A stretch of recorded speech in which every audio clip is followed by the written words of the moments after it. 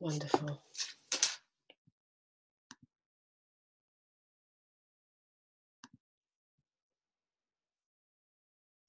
Right, so in two minutes, you're going to hear some music, and then I will introduce the show, and then I'm going to play a video, and then we're going to go into the show. All right, just so that you know what's um, going to happen.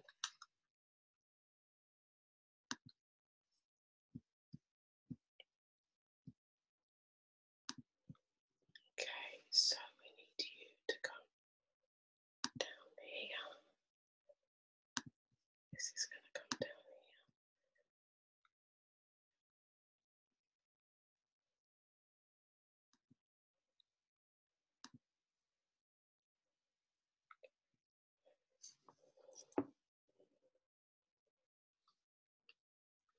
Gosh, the minutes are going so slowly.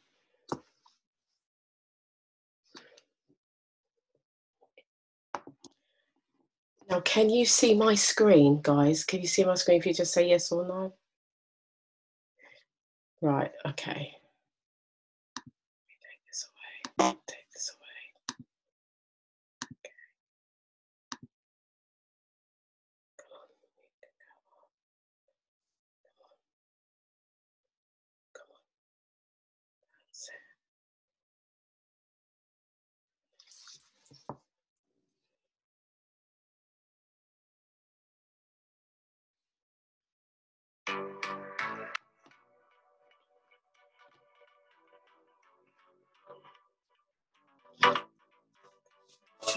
I'm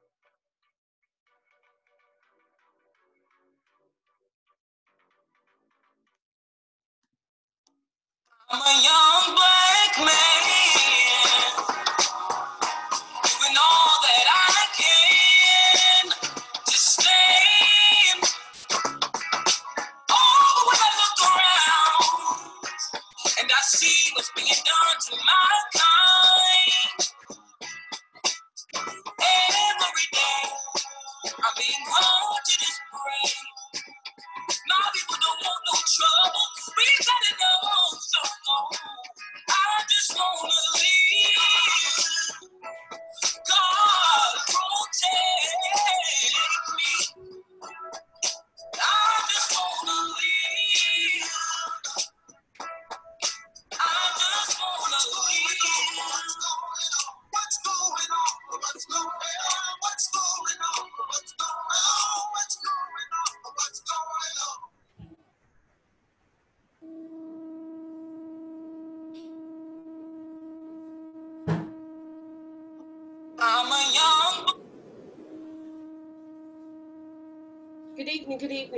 guys. How are we doing today? I just want to welcome you to Conversations with Yvonne Michele. Now, this show is a little bit different from any other show that I have done before. because we have never ever been in this situ. We've been in situations similar, but we've never been in this place before. So I'm just going to. There we go, guys. Can you hear me? I want to just make sure that everybody on the panel can hear me this evening. Okay, so I'm just going to do this so that we don't we keep the feedback to minimum. So those of you headphones, if you can use your headphones, it'd be great. If not, uh, still okay. Okay, guys. So can everybody hear me? You can hear me? Great. Okay, so today's show is um, a show. Um, this has been streamed straight straight through to Facebook while we are here. So we have a panel um, of people who are in our community, who work in the community, and are people facing who are making an impact in communities all over the country. Um, today, we are recognizing that many young people, many people, many black people have died in police custody. Many people have died um, at the hands of the police, and there's lots of racism going on in the world as well as in our local areas. So, today we want to have an open and a frank conversation about what has been happening and how we find the solutions to this. Now, we've got some really good people on our panel tonight.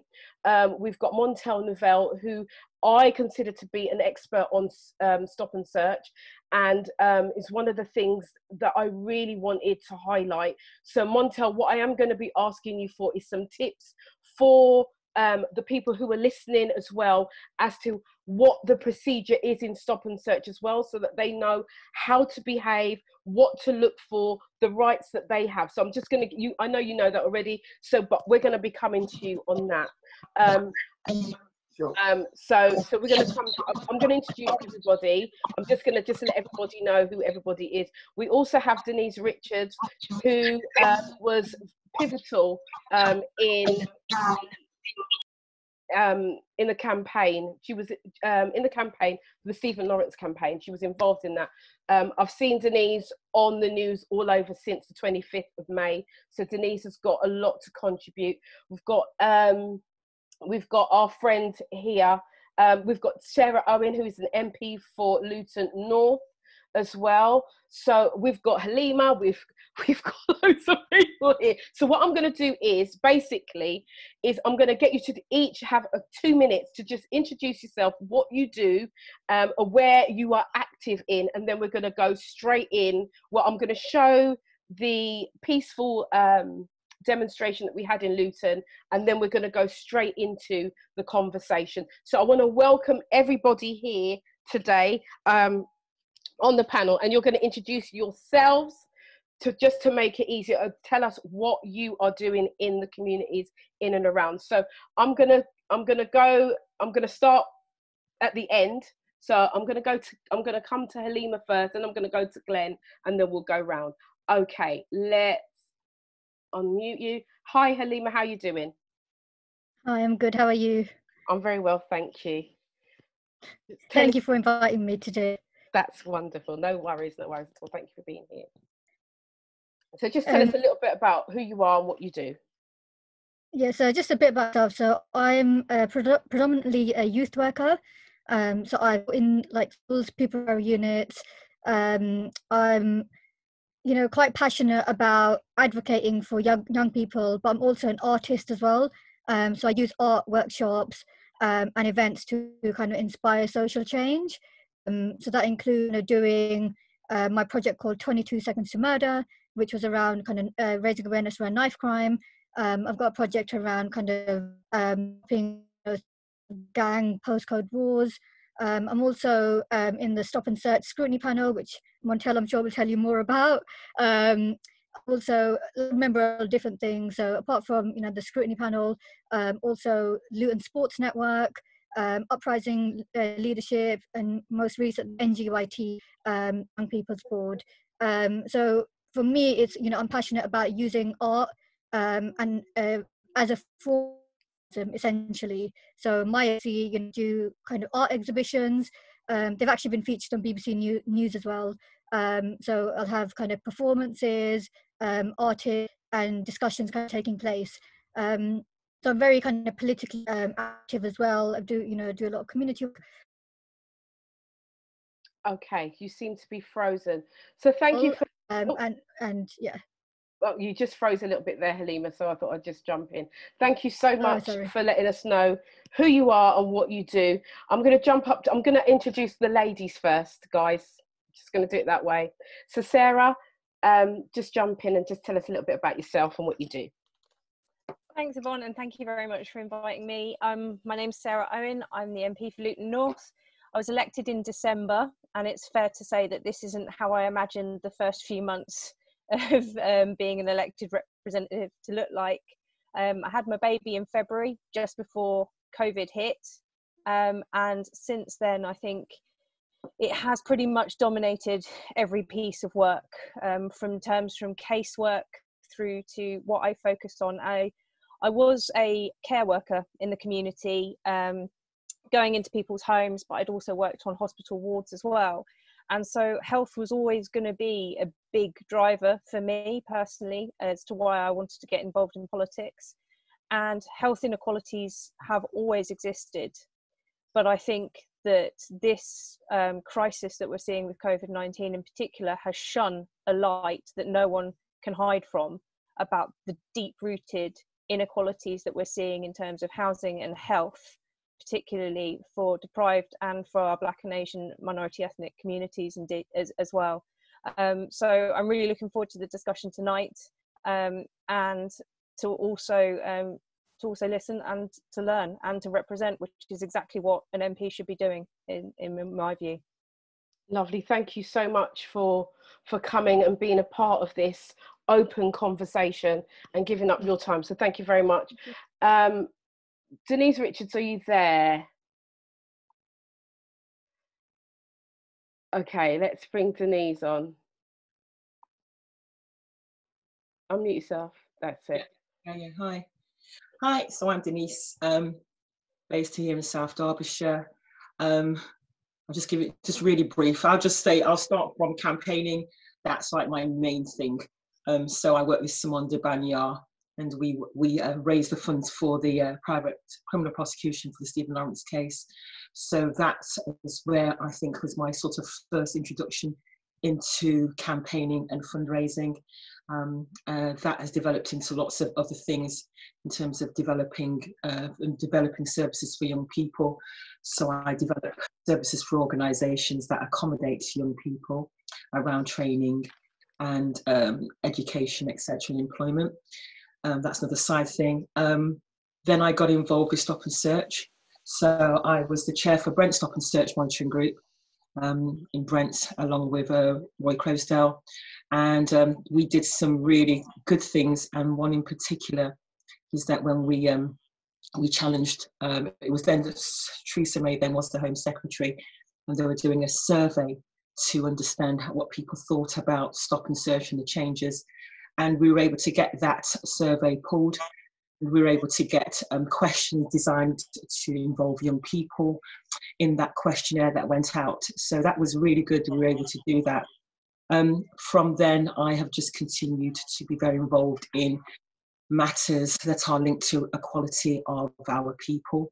And um, I led a campaign on Sunday in Derby for um, Black Lives Matters. So we had a really big campaign on Sunday. We had 1,800 people there and um, it was a really good turnout. So I'm now from that. The amount of what was really amazing was the amount of young people that attended.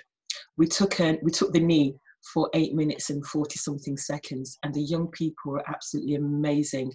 And out of that, we're now trying to see how we can now move forward in terms of um, raising awareness with uh, with Derby City Council, shall we say, and with the police, etc., etc. So that's where I'm at right now, moving, moving those things forward. So that's me. Wonderful. Thank you, Denise. We'll come back to you a little bit later.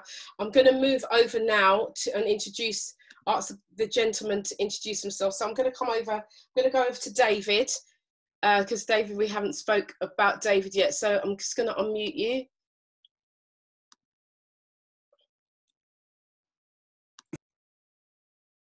There we go. Can you hear me? I can hear you loud and clear. Thank you, David. Good evening, everyone. I'm David Michael.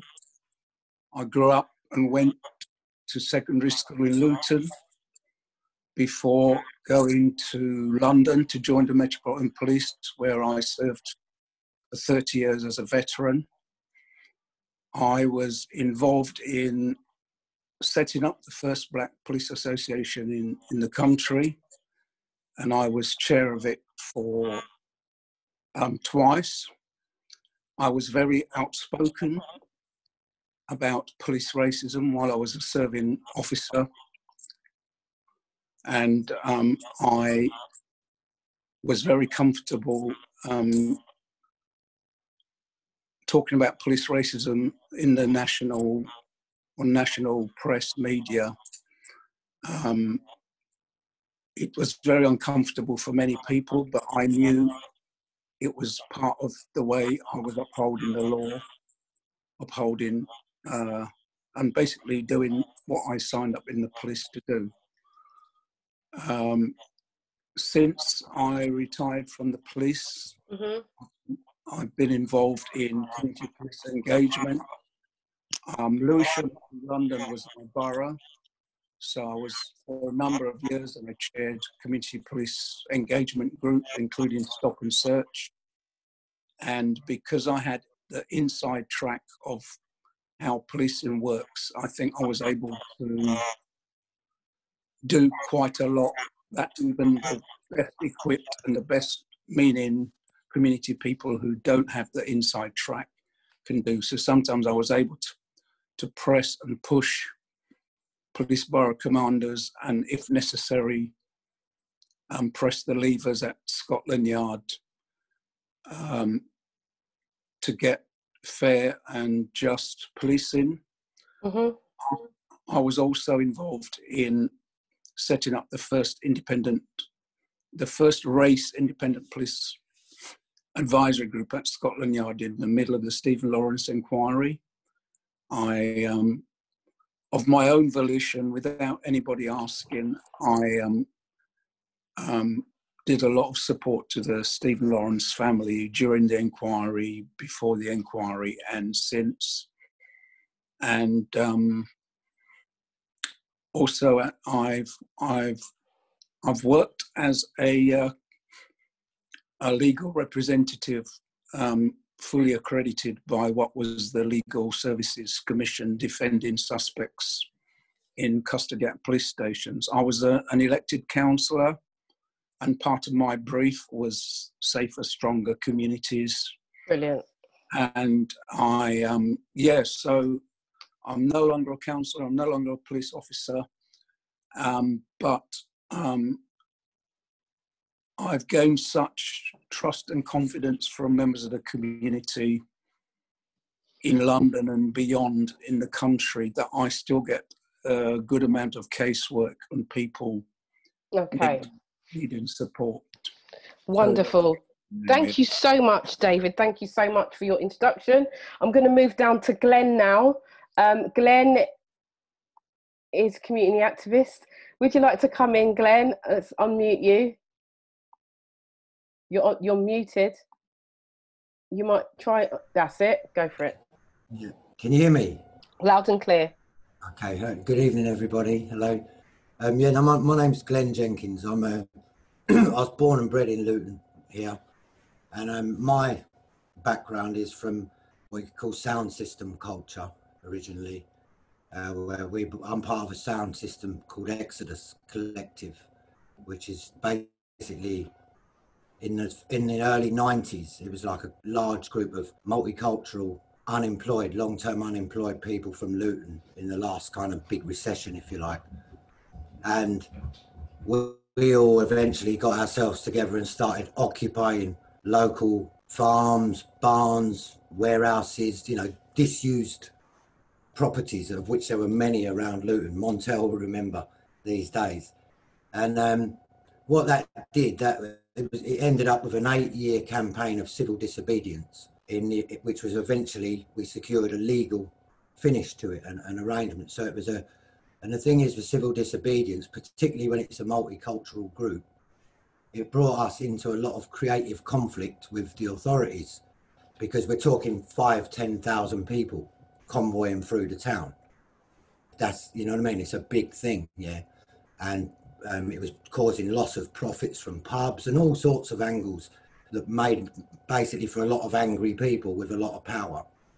And what you learn, what I learned through that, was particularly the attitude of the police against what they would see as non-conformity to authority, and particularly the attitude to the police of black people who are non-conformist to authority.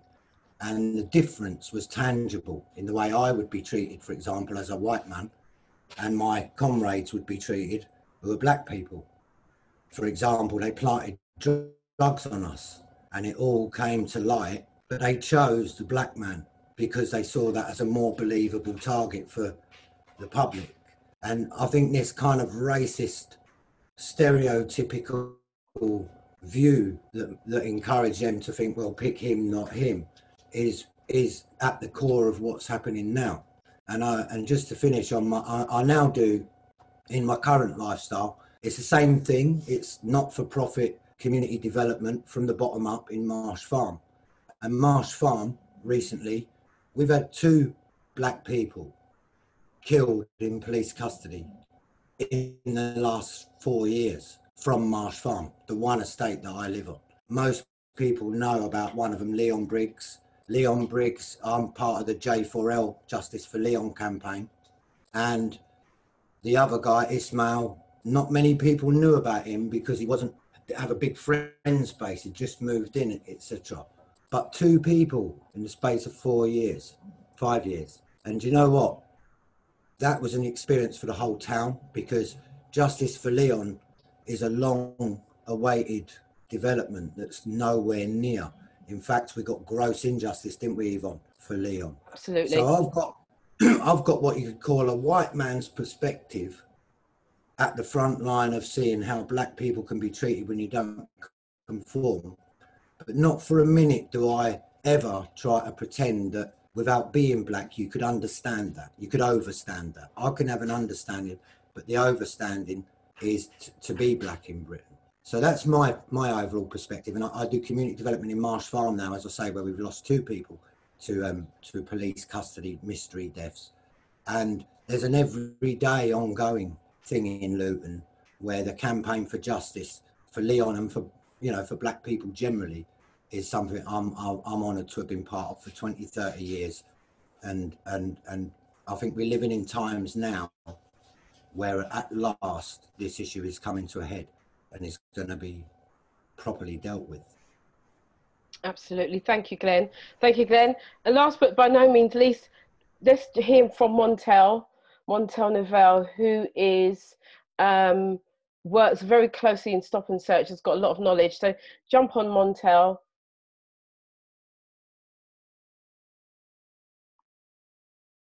Unmute yourself. There we go. Oh, go for it again. Try again one more time. Unmute yourself. That's it. Hi, can you hear me? Great. Loud and clear. So about Montel Neufville. Um, hello, Glenn. Hello, David. Um, I've been a social um, activist for around about 20 years. For the past 10 years, I've been a trainer. I run training workshops in a whole range of topics. My three main target groups one, people who work in local government, two, young people, and three, people who work in policing. Um, I've, I've delivered training to around about well over a thousand police officers and, and um, police staff. Um, the other things I do in terms of trying to educate and ensure that the police re- reflect the values that we need them to reflect. I take part in police recruitment. I've interviewed over 140 people to become police officers on the one hand. And on the other hand, I sit on a panel whereby I'm an advisor um, on the code of ethics to the uh, professional standards panel. And that panel looks into police disciplinary issues. And you mentioned earlier, I'm also the chair of Bedfordshire Stop and Search um, um, Community Scrutiny Panel. Now, the Community Scrutiny Panel, I've got round about 50 people involved from all over Bedfordshire. It is a critical friend, as the police will tell you. It does give them a hard time, but it gives them a hard time for a reason because there are issues and they know there's issues. It's um, widely regarded and respected that absolutely there are things that need to be done better. It's interesting, my friend Glenn mentioned the word conform, and we'll talk more about stop and search in more detail uh, later on. I find the biggest issue is not even whether people are conforming or not. There are still problems and attitudes to the way they are treated. So it's not just about if they are, if they do conform.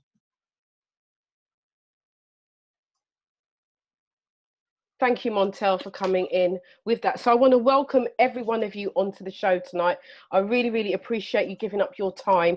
We do have, um, we are live streaming to Facebook as well. And so there will be some questions from our Facebook listeners as well as the www dot. Now, um, what I had it planned was to play, was to share and play this. This was part of a protest that we saw on Saturday. And then we're going to take the conversation from there. And I'm glad that we have people who are working with young people, um, also who are working with the police, so we can kind of get a bit of a balance. And then we've also got Sarah here, who's who's talking from an MP's perspective on how we move forward. Now, one of the things, one of the reasons why I decided to do this show is because we have had protests We've had a lot of people say a lot of things on social media. People are very angry and rightfully so. But my question is, is how do we move forward from this? What is the solutions to this? Because we can go round in circles and we know what's been happening. We know that this has been going on for years and years and years. But now we've come to the place where we've hit the brick wall for real. And as Glenn has said, now is now is the time. We have an opportunity here right now to start putting things into place, to start um, brainstorming as to how we move forward and how we create a different world for our young people. Because I know what I've experienced, and I, I, guess everybody here has experienced something along the way in terms of racism or harsh treatment by the police or what have you, whatever it is. Now is the time for solution. Now is the time for us to put our heads together and really work out a plan that's going to work for our children that are coming up. Now, I have a four year old grandson Believe it or not, I do. I know I look young, but I have a four year old grandson. This is not the world that I want for him.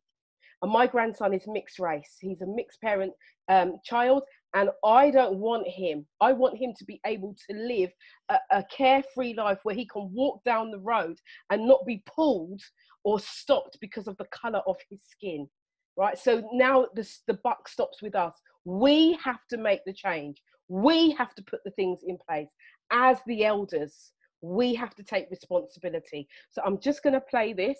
I'm not sure how it's going to work, but I'm going to give it a go. Right, here we go. So this was a clip from the peaceful protest on Saturday in Luton. government.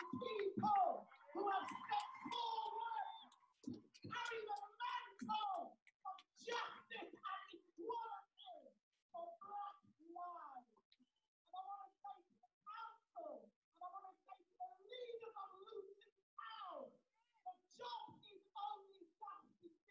And the government. You need to see your streets have a lot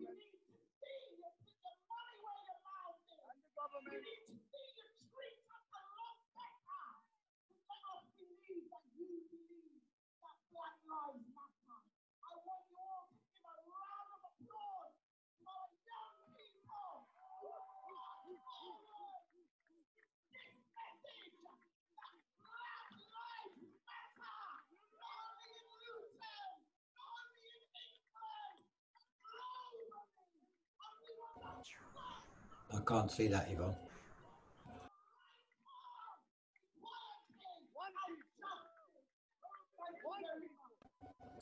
Yvonne, I can't see anything. Can, any, can everybody else see something?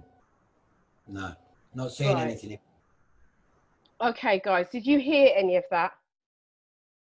A little bit. Okay, I think the guys on Facebook probably and on the WW would have heard it more. But basically, through the campaign, they were basically saying that Black Lives Matter. We are not making any excuses.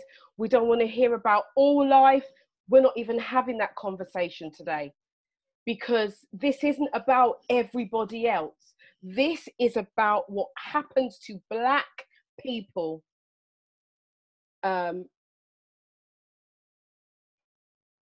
this is what happens to black people in general so um, i'm gonna swing over now because oh i've lost one. Oh no i've lost somebody but they'll be back. They'll be back. There we go. Okay so as you could hear, or maybe not, there was so much passion on Saturday, and we saw so many young people out walking, protesting, because the, the young people have had enough, much less the elders. So, my thing is now is how we know that racism exists. We know this. We know that it's institutionalized. We know that it's in in many, many, many organizations. Now, my thing is, how do we change that? How do we start to change the minds of those people who are racist? Because right now, it, we're calling you out. We're calling you out. So this panel here is a diverse panel, and it's and it was strategically put together because I want to know from each walk of life what you think will make the difference we and again i'm going to say we already know what's happened and we have to i heard somebody say that they refuse to see george floyd as a martyr now what i will say is george floyd is the tip of the iceberg if you think about an iceberg with the tip underneath it is huge and it goes underwater yeah, that's how an iceberg is. So all the things you might be able to see that tip, but there's a big density underneath that water that no one can see that's been rippling for years.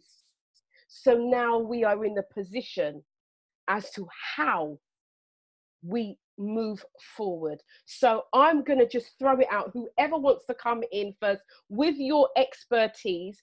Um, I was going to go, I was going to actually come to you first, um, Montel, because I know that you have some quality information, especially for those um, young people who do get stopped. What are their rights? What are they supposed to say when they are stopped?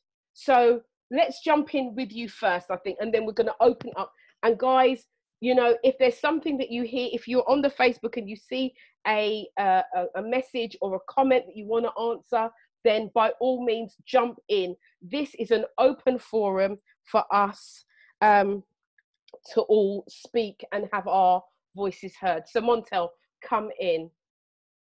You're on mute. Can you hear me? I can. Excellent. Okay.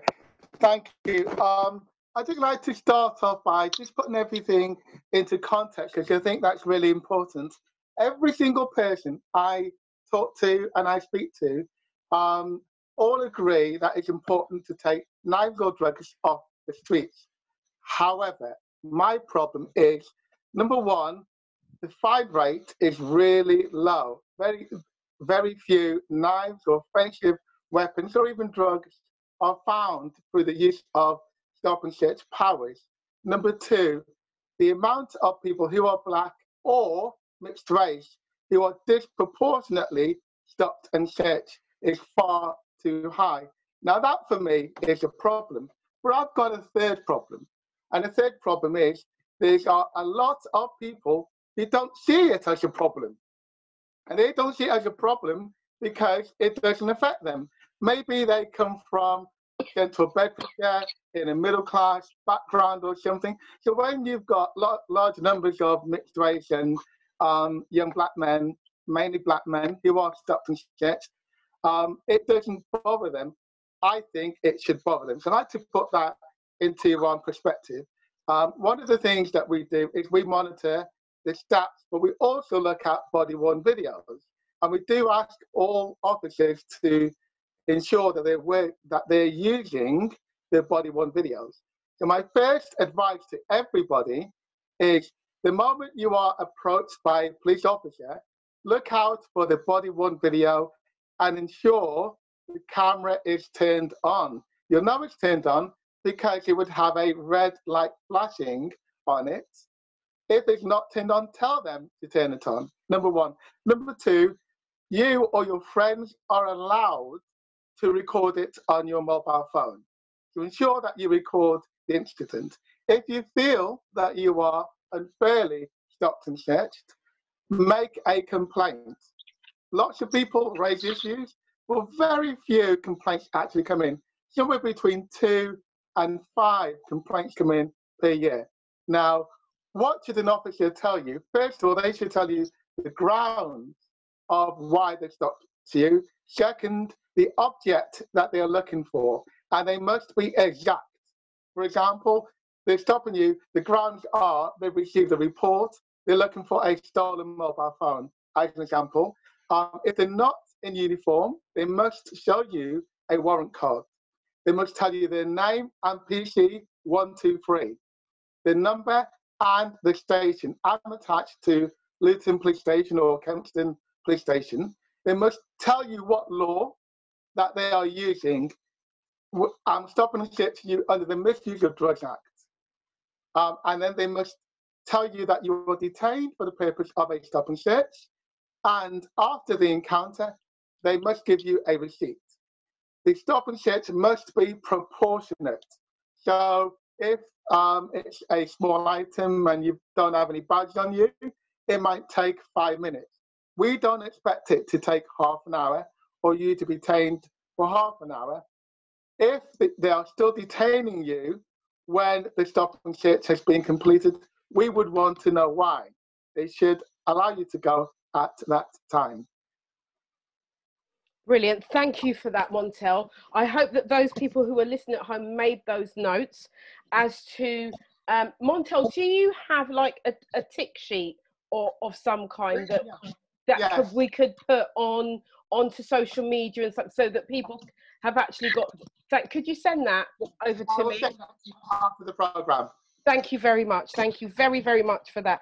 Okay, so we've heard that this is, um, these are the procedures. Now, I'm just going to just add to what Montel's just said. Now, I have a 21 year old daughter who um, is, she's a good girl. She's a very, very good girl, right? But lately she's been showing me video after video after video after video of young black men being stopped and those procedures that you've just listed are not being adhered to. So, how do we now, as the public, how do we have a say? How do we change what's going on? Because we know what's supposed to happen, but we know that it's not happening. So what happens is there's 43 police forces covering the whole country. We've obviously got Bedfordshire Police here. Um, you have the Met Police in London, etc. So identify the name of your police force. For example, if it's Hertfordshire Police, that's number one. Number two, look for professional standards. Go straight to professional standards and make a complaint to professional standards. They are like internal affairs, anti-corruption unit, and they investigate complaints against police officers. Um, and they are the, uh, I would recommend the best place to go to. I do advise professional standards, certainly in the cases of anything that could be to do with discrimination. Um, and if, if you send in into professional standards to your local police force, they will ensure it's investigated thoroughly. For example, I also advise Hertfordshire Police as well. Okay. Now I'm glad that you've got the scrutiny team in in Bedfordshire, because what I'm going to say now is this, and and I'm opening this up to everybody, because even though we have the professional standards uh, to complain to, when someone's dead, it's too late, and we know already what has happened. We know what has happened prior in our history.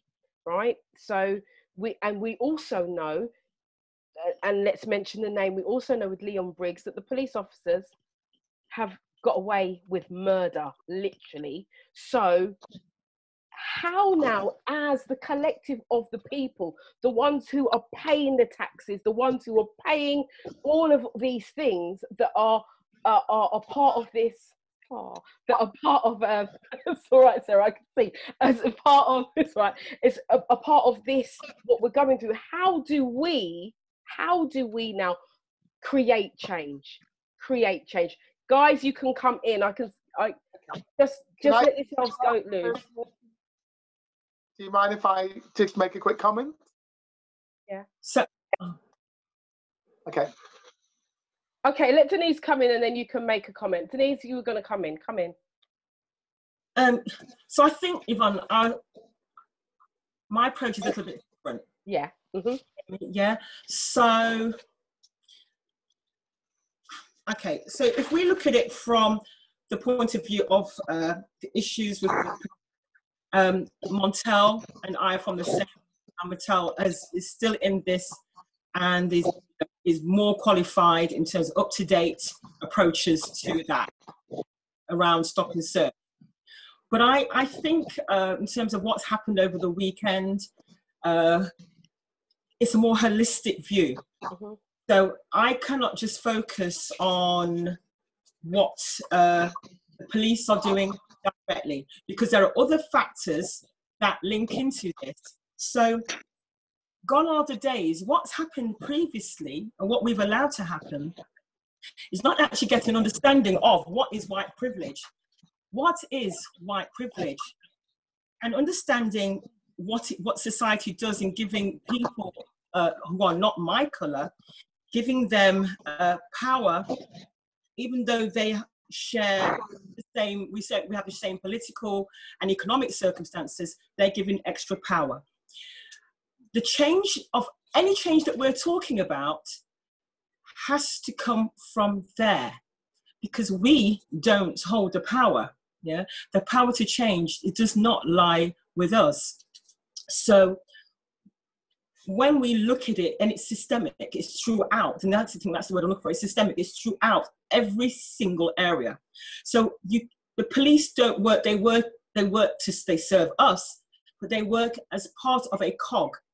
So you've got the police you've got education you've got health you've got the, the local government. All of those all fall in and create the pot. We have to they and i will say and i'm not and i'm not going to um the softly softly has got us nowhere. Um i feel to a certain extent a lot of what we're experiencing is like groundhog day. We've been here and we've done this journey and we're still at the same place. And i'm going to give you read you a quote if i can find it. I'm just looking for a quote from the black police association um that they said and I'm, oh goodness me you know what? How can i not find it? Um but it, it, it refers to give me one second. Oh wow i thought i had it. Oh yeah here it is. This one, the black police association. Black britons are grappling with the harsh reality with that decades of structural and institutional racism. You know what the word they use? It has made us people of my color fodder. What is fodder? Yeah? Fodder. Fodder is something you feed to cattle. Yeah? That is what the system has done. Yeah? And basically leaves us uh, in an inferior position and it talks about the, dispro- the disproportional use of uh, of um, force in policing. So where where we're at is that we're in a very very bad state so we can't just refer to the police. You can even look at the media for example. The media okay do not help our cause neither. The media will come to people like myself when there are heightened stories yeah about racism about immigration that is what they're that's what they're interested in. So over the week over the past few days following the death of of george floyd you know we are hot you know they want our story they want you on all their news channels.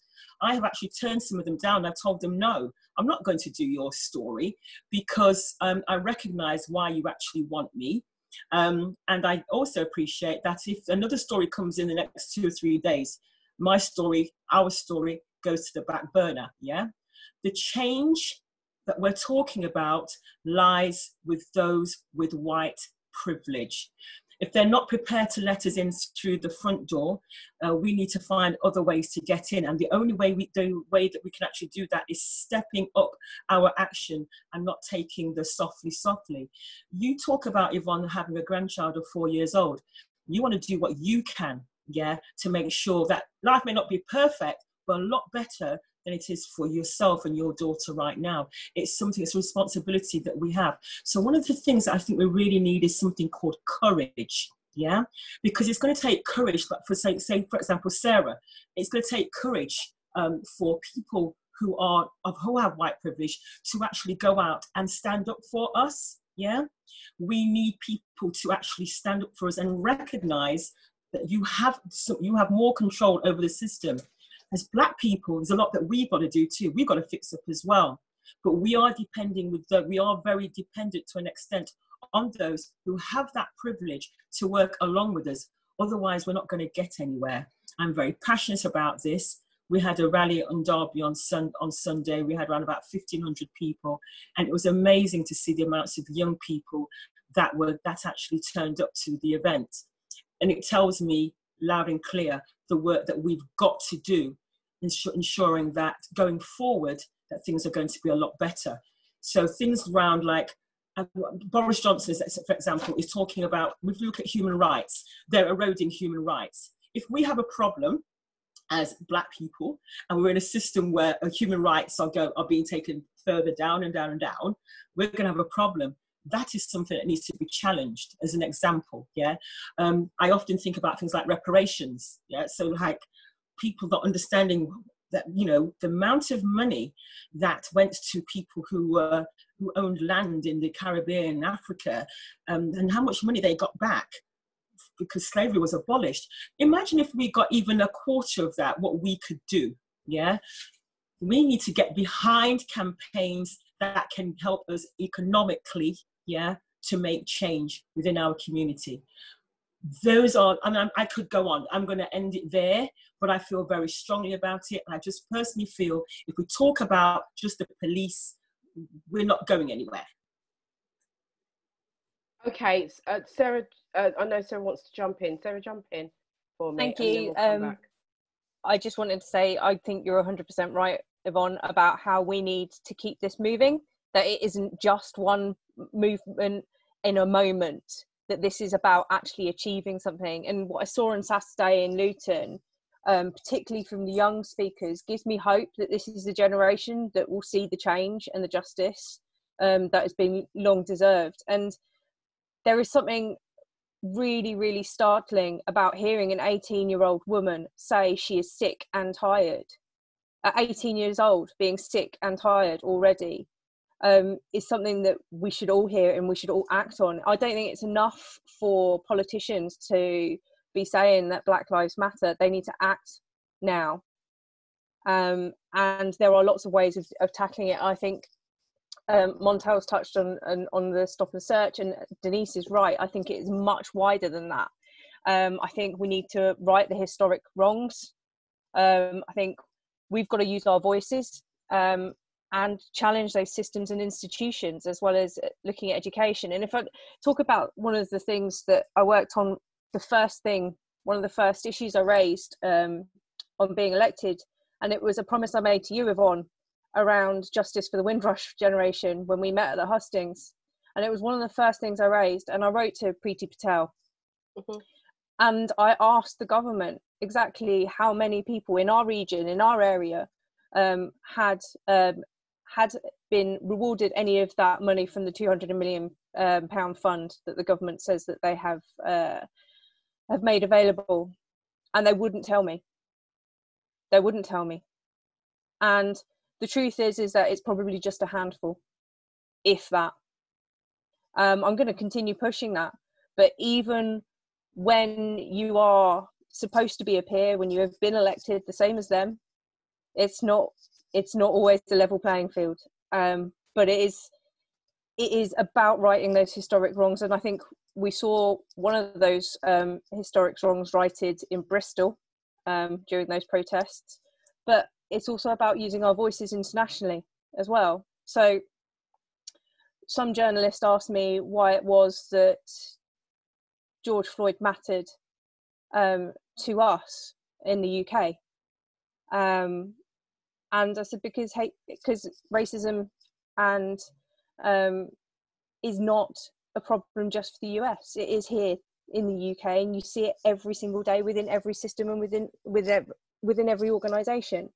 Um, and when we, as a country, do have what is seen as a traditional ally, we shouldn't be afraid of calling out actually and saying this is ra- this is racist. Your policies, your views, the way that your leader is acting, no matter how close um, a country has been to us in the past, we have a moral obligation to call out racism wherever we see it in, in the world. Um, and in terms of systems and institutions, this isn't a problem with just institutions and systems that already exist. What I'm seeing currently um, with a lot of the health issues around COVID and how their government are dealing with it, they are just replicating the same cultural biases. I sit on the Health and uh, Social Care Select Committee, and in front of me, I had the woman who is in charge of the new test, track, trace system. Now, given that we know that black men and women are four times more likely to die from COVID 19 than white people, I thought she would know how many black or Asian um, contact tracers she had hired, given how important it is to our diverse communities, and she couldn't tell me. She couldn't tell me. So in there is another cultural bias being replicated again yeah. and again. And it might not be necessarily intentional, but it's happening. And that's why it's so important to continue to keep pushing on it. And that goes straight through down to how lockdown has even been enforced. When you've got the Met Police twice as likely to find a black person than a white person. So it's as if the country isn't learning from its historic wrongs, which is why I say it has to learn and right those historic wrongs almost in order to be able to say that we are going to get the future right. Um, and that's why I think education is so important. But Montel, on the specific issues around um, when people, I think in Luton and particularly Luton North, where I represent, if there are issues and people feel also uncomfortable necessarily wanting to um, go directly, I'm I'm your MP. I'm here to represent.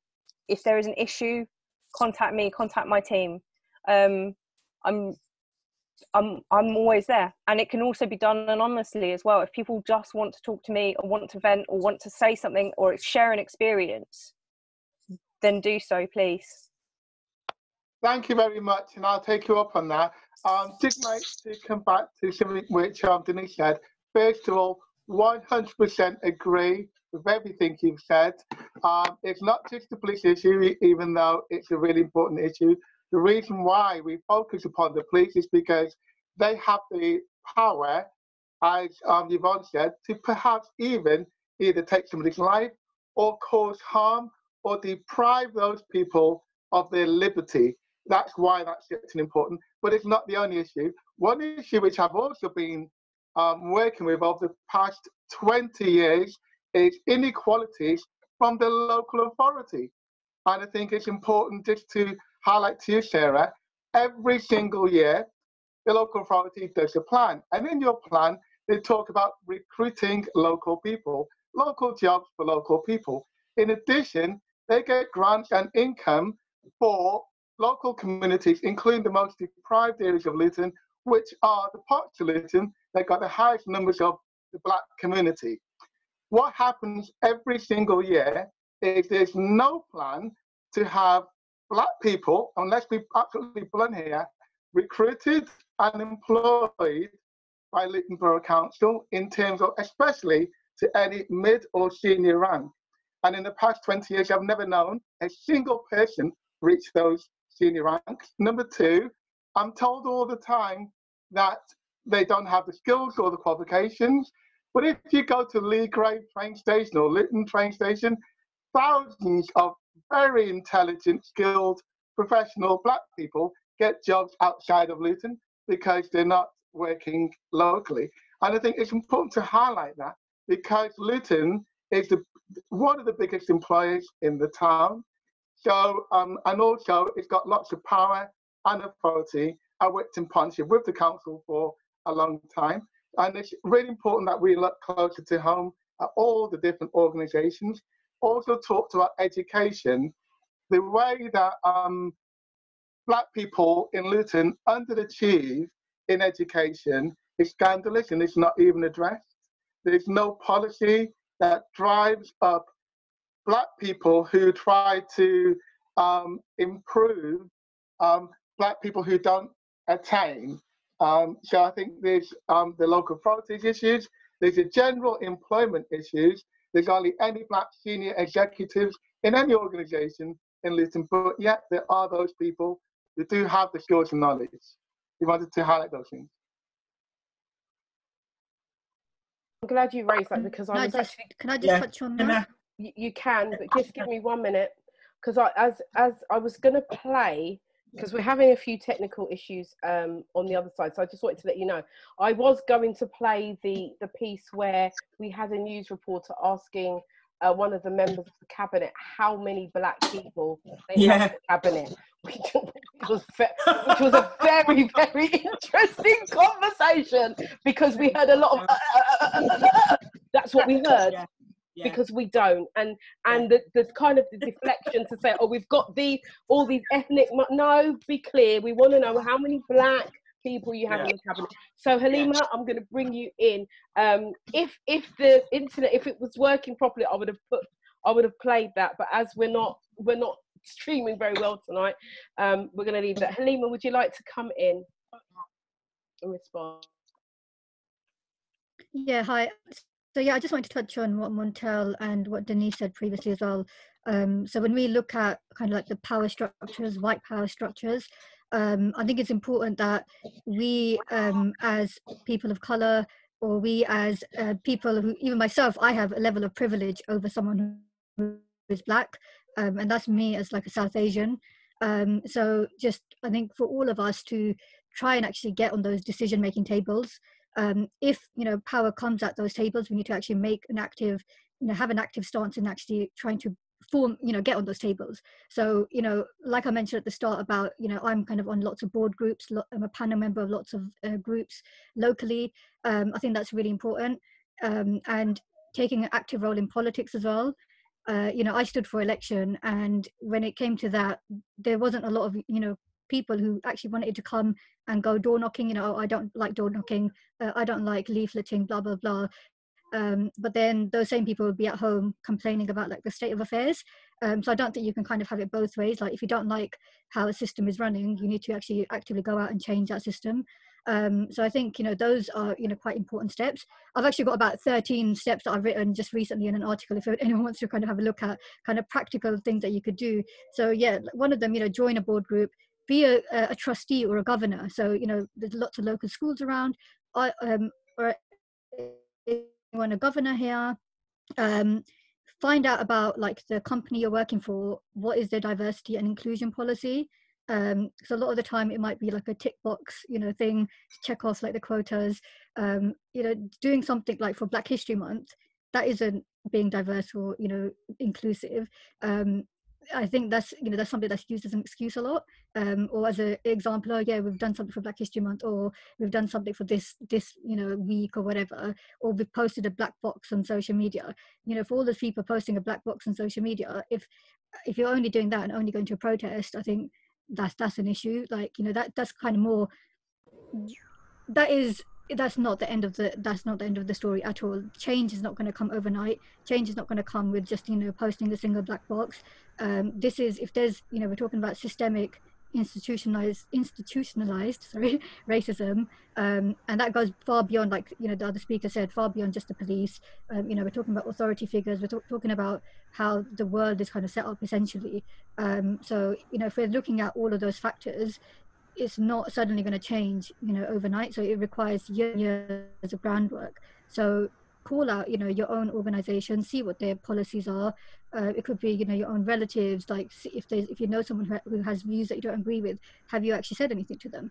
Um, uh, uh, politics like i said you know either do campaigning stand for election yourself if you want to um, support people um, uh, because you know you need diverse groups of people and you need a representative body whether that's in your workplace um, I think someone mentioned before, um, Montel, around the uh, recruitment side of things. So if you can be on a recruitment panel or an interview panel, it doesn't not just for the police, but just for anything really. Um, you know, I've interviewed certain individuals before, and it's always a bit weird sitting on the other side. But you can see the kind of the quality of people, and you can make sure that diverse groups are heard. That's saying that you know you're only going to select a certain um, group or certain uh, type of people, but it's about giving um, an equal opportunity to people um, there's so many other things you know you can actively support businesses by black people. Um, you can inform people so like a lot of people might not actually know what stop and search scrutiny panel is. Um, they might never have heard of the gangs matrix as well. Some people here might not have heard of it. Um, so you know people listening that you know there's the met police have got um, this kind of database where um, people who are perceived to be gang members in london are kind of on this uh, database. But it's disproportionately um, made up of young black men. Um, so you know, there's a group called Stopwatch. They kind of do work around that to try and inform people if they're on on that um, group or not. Um, and then looking at kind of the sectors that you're involved in. So for me, you know, i am involved in the education, charity, and art sector. Uh, in the education sector, I think we don't learn about the history of colonialism, for example, um, and you know, when you look at the way history is taught is uh, there's kind of campaigns that ask why is my curriculum so white? Um, and, and look I'll at just, books on feminism and, and feminists and it's just there's so many things that need to be changed. And i'll come in right there because we have a comment from uh, amina actually from on facebook who says that what we need is proper black history taught in schools because um, she said i used to teach and the choice from the curriculum is inadequate um, somebody else has said, um, oh, uh, again about education. Education is the key. Um, we're, we're not being taught, uh, and our children are not being taught their real values in school um, because it's all kind of all one-sided. We do have a comment from Karen Eastman who says, what Denise is saying now is very true. Is what Denise has said. This isn't one a one strand issue. There are layers and layers to this racism onion. We are not the ones with the problem and we cannot fix it alone. If there was no such thing as white supremacy, the playing fields would have already been leveled because I, for one, would not allow inequality to continue.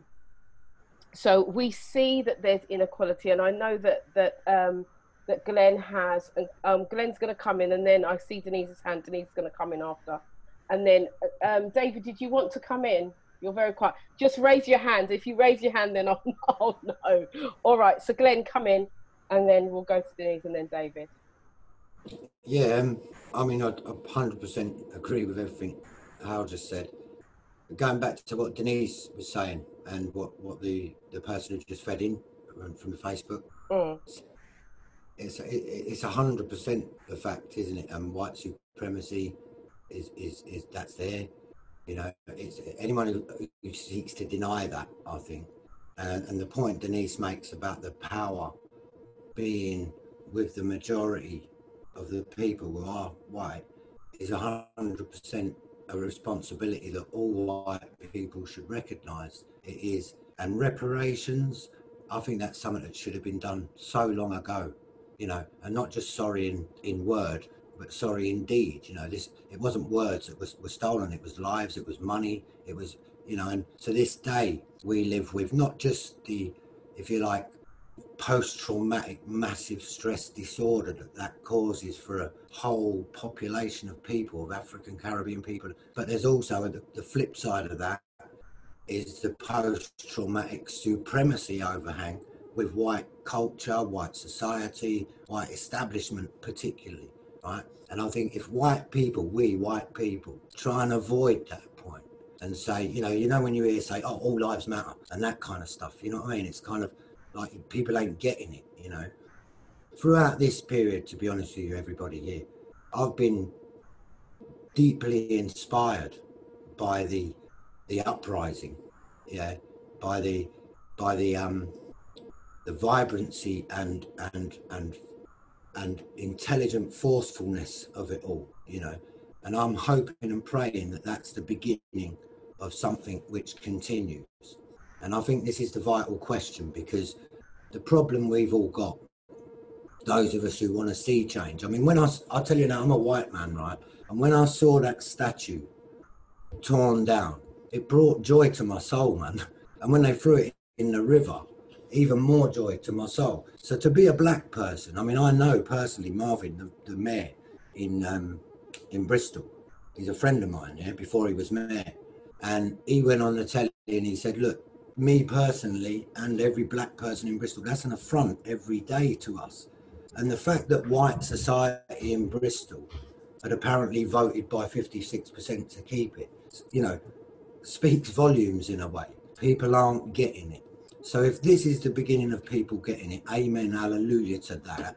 Right? And, and I, I just want to say, you know, for white people in the current moment, it's where do you want us, right? Because this is people having their voice and, you know, there's, you know, Malcolm X with, with the sheep and the fox and that kind of angle where, you know, you have white spokespeople jumping up who don't know anything about being black and the experience and all that. We're not seeing that. We're seeing black people speaking and and acting, and it's beautiful, you know. So this is my one thing I wanted to leave with on this point was the problem we've all got is that explosive sort of like exciting responses like this happen every so often and they're like fireworks. They go up and there's a big noise and then when it comes back down and something else happens next week in the news do you know what i mean? It all subsides and I think the question, I ain't got an answer totally to this. I've got some input to a discussion about it, but the question for all of us is how do we, how do we make sure we all, the movement, make sure that that doesn't happen here? That something beyond this, this energy turns into something more permanent, something more watchdoggy. So I don't know, but something more permanent. Because if this comes down as a burnt rocket, the next time we'll be here is when it happens again, when some other poor soul can't breathe because the police have got their foot and neck on a knee on his neck. You know what I mean?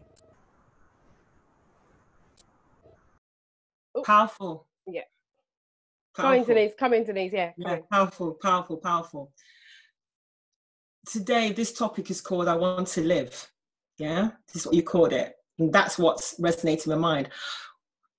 And, you know, there's I've been using this for the past few days, you know, they want our rhythm, but they don't want our blues.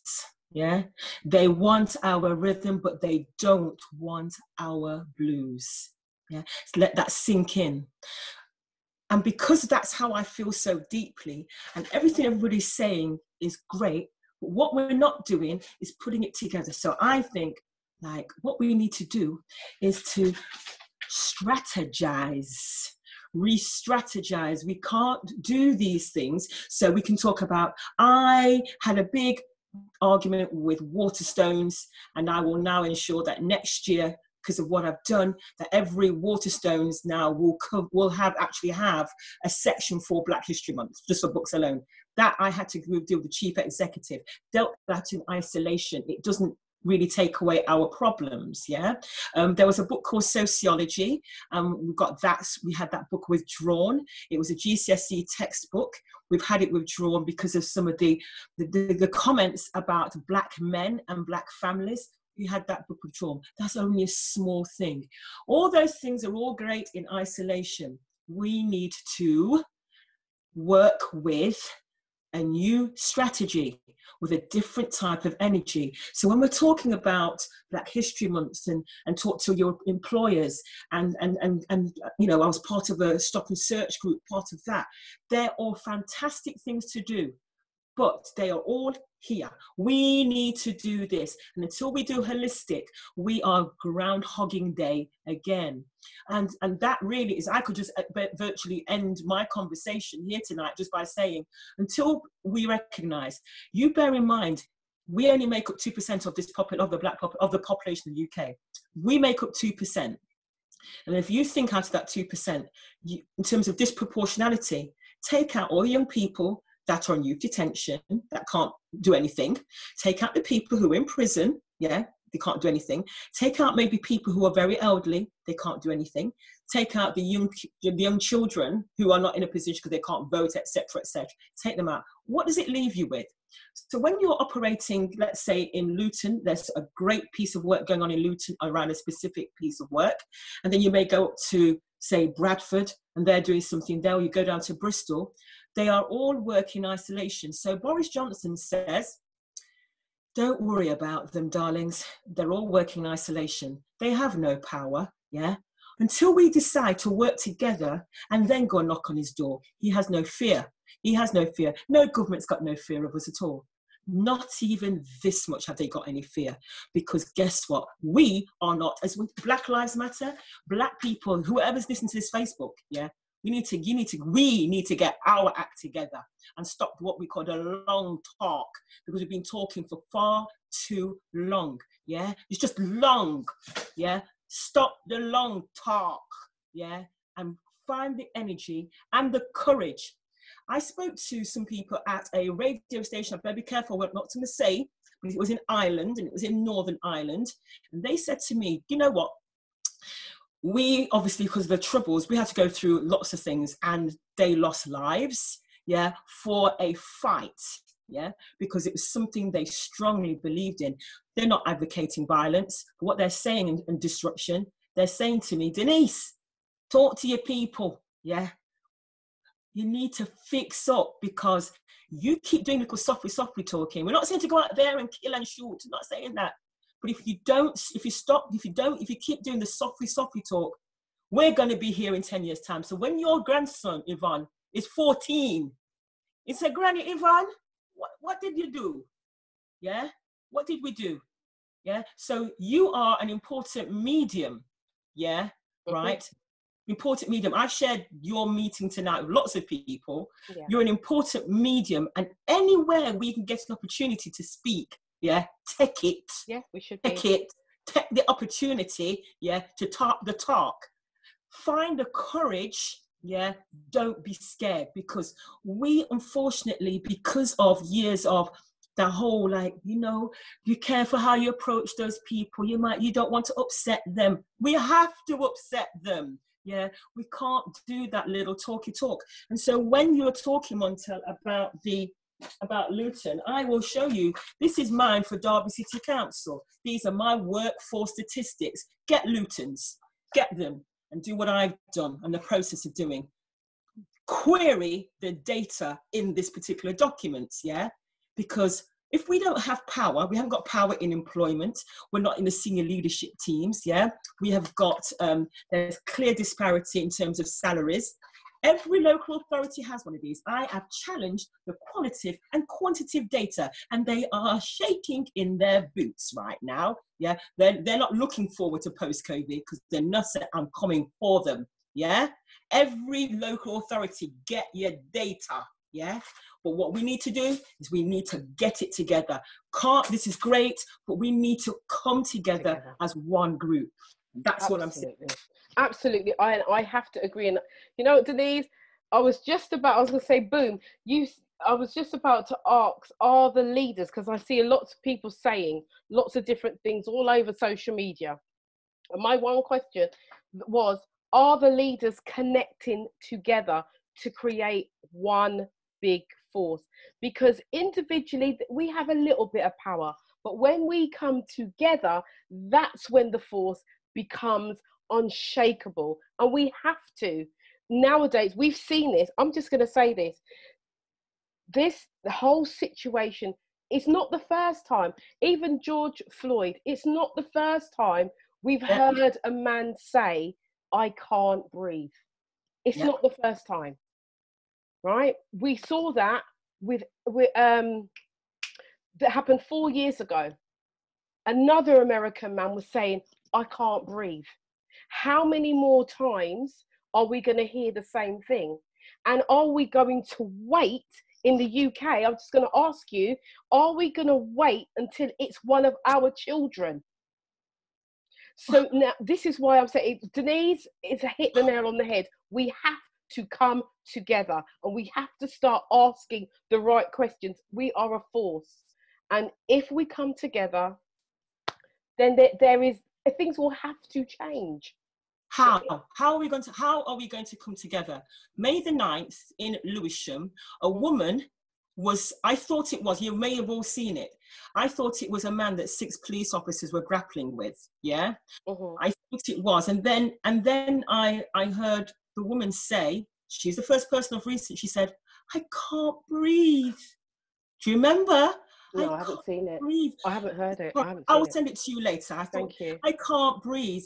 And I said, okay. Um, then I thought maybe I'm, I'm mishearing. And then I heard a woman say, suppose she's pregnant. Six police officers. What? This is May the 9th. It was in the metro. It's not no like, you know, it's not no like, it's a fact. Yeah. And the BBC didn't want me to talk about it. Yeah. Well, I'm going to talk about it. Whatever that woman did, there was no reason for that to happen. You understand? Mm-hmm. So, talking to me, yeah, about this is all good. I want to know, I'd like us to talk about if it's strategy that we need, what are we going to do? How are we going to put it together? Who's doing it? How? David, put your mic on, David. I'm here. Yeah, can you hear me now? Okay. First thing I'd like to do is to acknowledge the level of awareness, the protests around the country, London, Luton, Derby, Bristol, the impact and the um, diversity of the nature of people protesting. So it was about Black Lives Matter, but it was multiracial, a range. And I, I don't know how we analysed, but from how I've assessed it, it has raised a level of sensitivity and self questioning from radio presenters, broadcasters, journalists in their response to what's happened.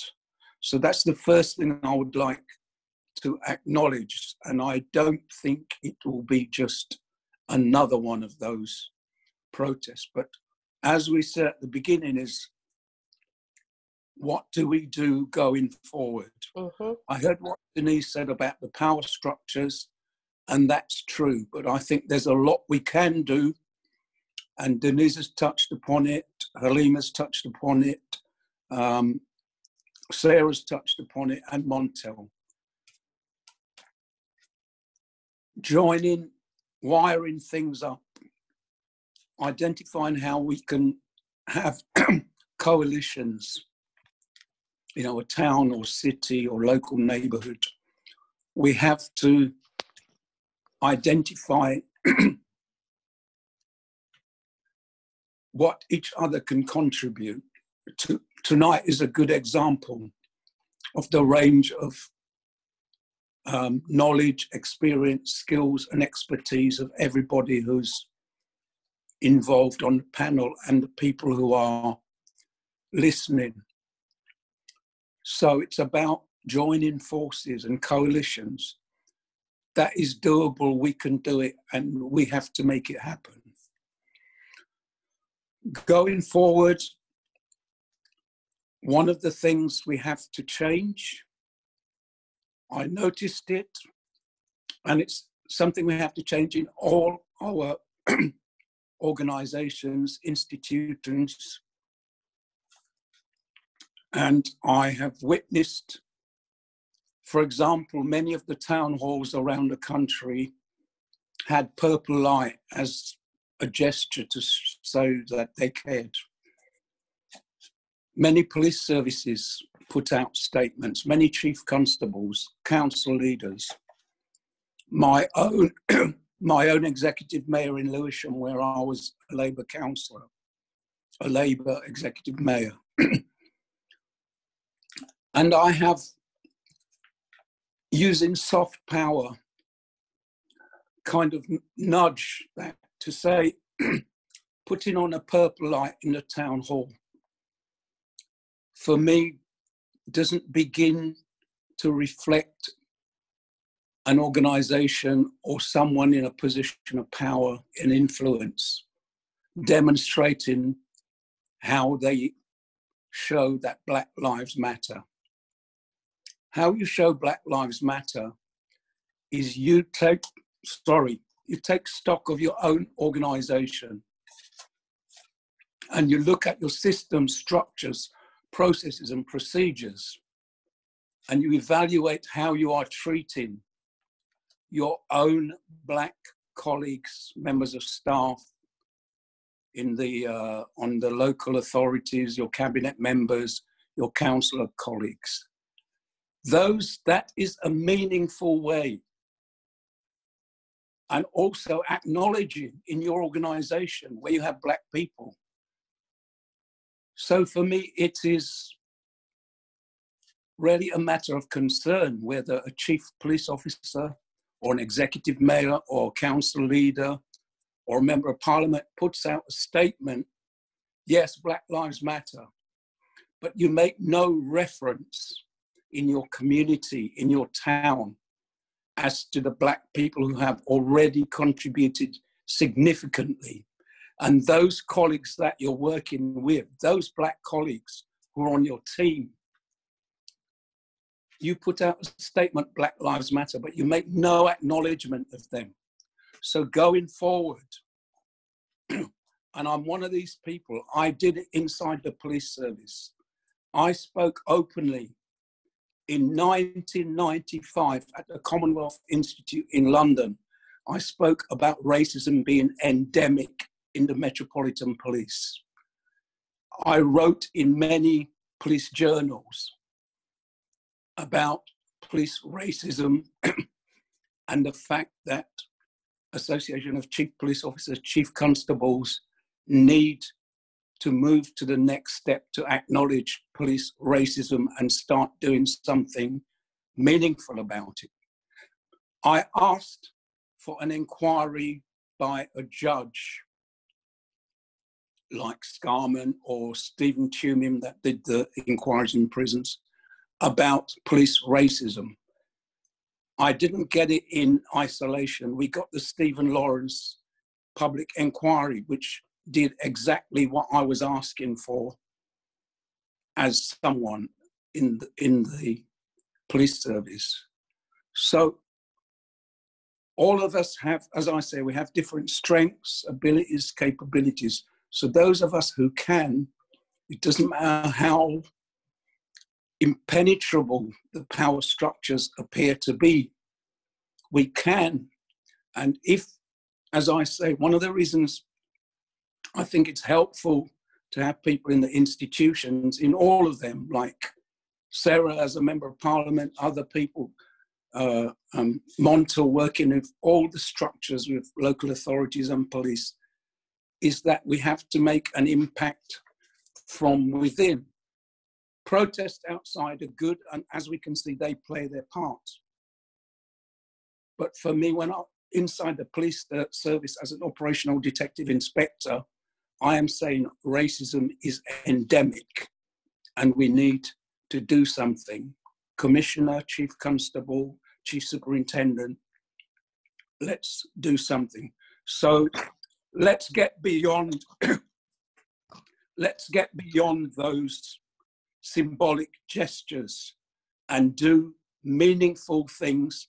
If Black Lives Matter, then let us show wherever the council is, Luton Council, Lewisham Council, then council leaders show me that you are acknowledging the black, your black colleagues, your black members of staff, and they matter. You're not making an empty or just a gesture. You're actually showing that you have black people in your organization. You've had black people who've sacrificed and made a lot of contributions in your borough or your town or your city. Let us hear you acknowledging them without making a general, vague, you know, putting on the lights in the town hall or making a statement with your constabulary logo. You have black, so that's that's one of the start starting points. So we have to examine our own organizations, systems, structures, processes, procedures. And for people like Sarah and myself in the Labour Party, it has so many multi-layered structures. We have to unpick and unpack all of them and see where where we're going with that. Brilliant. Thank you for that, David. Just before. Sorry, thank you.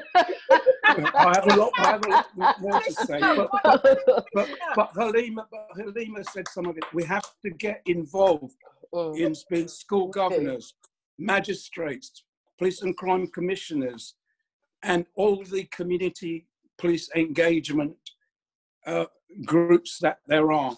We have some people and they say they're not interested in politics, but for example, in my in my old borough in Lewisham, some of the schools are 90 or more percent of black children.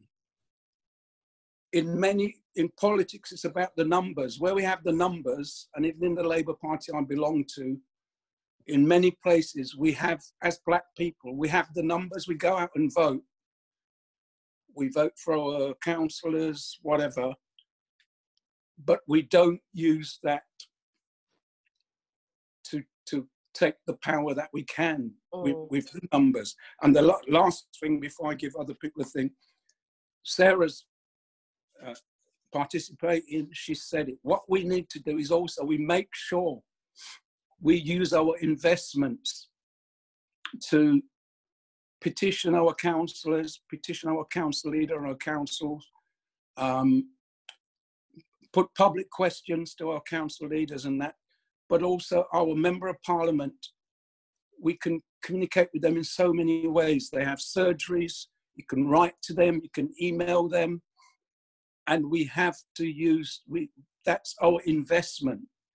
Make our members of parliament earn every penny that they get. Make, know your ward councillors.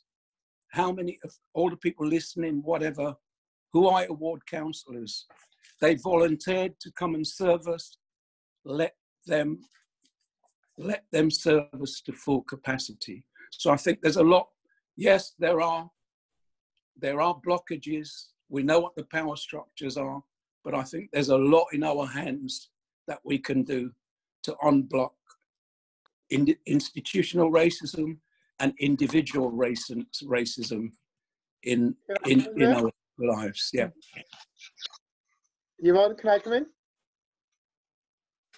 Hold on, because Sarah's coming in, and then Yeah. and then you can come in. But one of the things I just want to, and I just want to throw it out there, and it might just be like a bit of a grenade to you.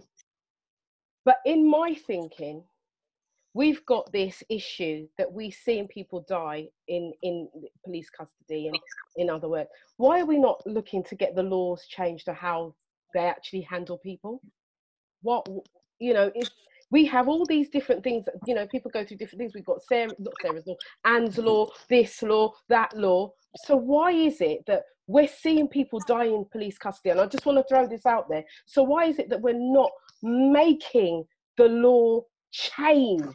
Because we are the people and they Yeah, make the I- laws for the people. So i'm just throwing that out there um, for you and then you guys can come back and talk Well, be- before before Sarah comes back, and I'd just like to say very quickly, we do, unlike the states, obviously they've been moved now in in Minnesota and some of these other states. They've actually banned the chokeholds, and we've we've done that in many instances in the UK. So so there is the, the ability to influence. In 2012, not long after the 2011 riots, a police officer racially abused a young black man in the back of a police van. Thankfully, he, he taped it all on his on his mobile phone. Really abusing, uh, uh, excess use of force, uh, naked the, the, hardcore racist language. After that, I said, I, I started off a Facebook group and a campaign that there was a gap. We, we had um, CCTV in custody suites, we have CCTV in cell passages, and I said we needed body cams and dash cams on police officers having interaction with the members of public. Thankfully, the then Commissioner of the Metropolitan Police very quickly, Bernard Hogan-Howe, he said, yes, I'm up for um, police officers wearing body cams. not long after that, he started trial practices and it's quite universal now. So if, I, think one of the things is, one of the things I try to do, I'm, I am, I will never defend the indefensible and I will always tell the truth about racism, police, um, excessive use of force, whatever it is. But I always try to look for solutions. So rather than just being up in arms, this young man was racially abused, excessive force was used. I then actually laid out, well, these are the gaps. And thankfully, they were picked up and acted on. So we, we can do that. Right. Sarah, do you want to come in? Yeah, I think that it's not just necessarily a problem about what laws are being passed, it's how the laws and the legislation are actually enforced. Yeah, and which laws work for certain people ultimately. And I think we need to have a much tougher stance and a review of how these laws are enforced. Um, because as we've seen even recently, laws aren't enforced um, universally and they they're not they're not um, fairly applicable to everybody. And when that is found to be the case, there needs to be much tougher reparations for the people that we should be trusting to protect us. Um, one of the things that I wanted to come on, which was about what Denise, how and David were saying, is how you how you move this forward, how you c- combine, how you combine forces. I come from a trade union background, organizing is my bread and butter and one of the the things that we keep talking about institutions is if we don't have people already in them they are also workplaces and one of the best places to start is to say this is my power this is my work this is my labor and i can take it away in terms of striking but also organizing within those those institutions um, as employees and it is about bringing people together and i have to say when I was working in the trade union movement, um, it was predominantly male, predominantly white. Um, um, when I was working with black sections, it was the same people, and there were very few young black faces in there as well. Um, and the, I have the problem with same problem with my own community, trying to get East Asians involved in politics and getting them involved in workplace organisation in the trade union, particularly where you can really affect change in terms of terms and conditions, in pay, um, in in the structural racisms that you see as well within institutions and within workplaces in particular. It's a huge um, lever of power that we can have and we can have pretty immediately. Uh, but I think it is something that we can learn from the trade union movement in terms of the level of level of bringing people together and that organizing for one aim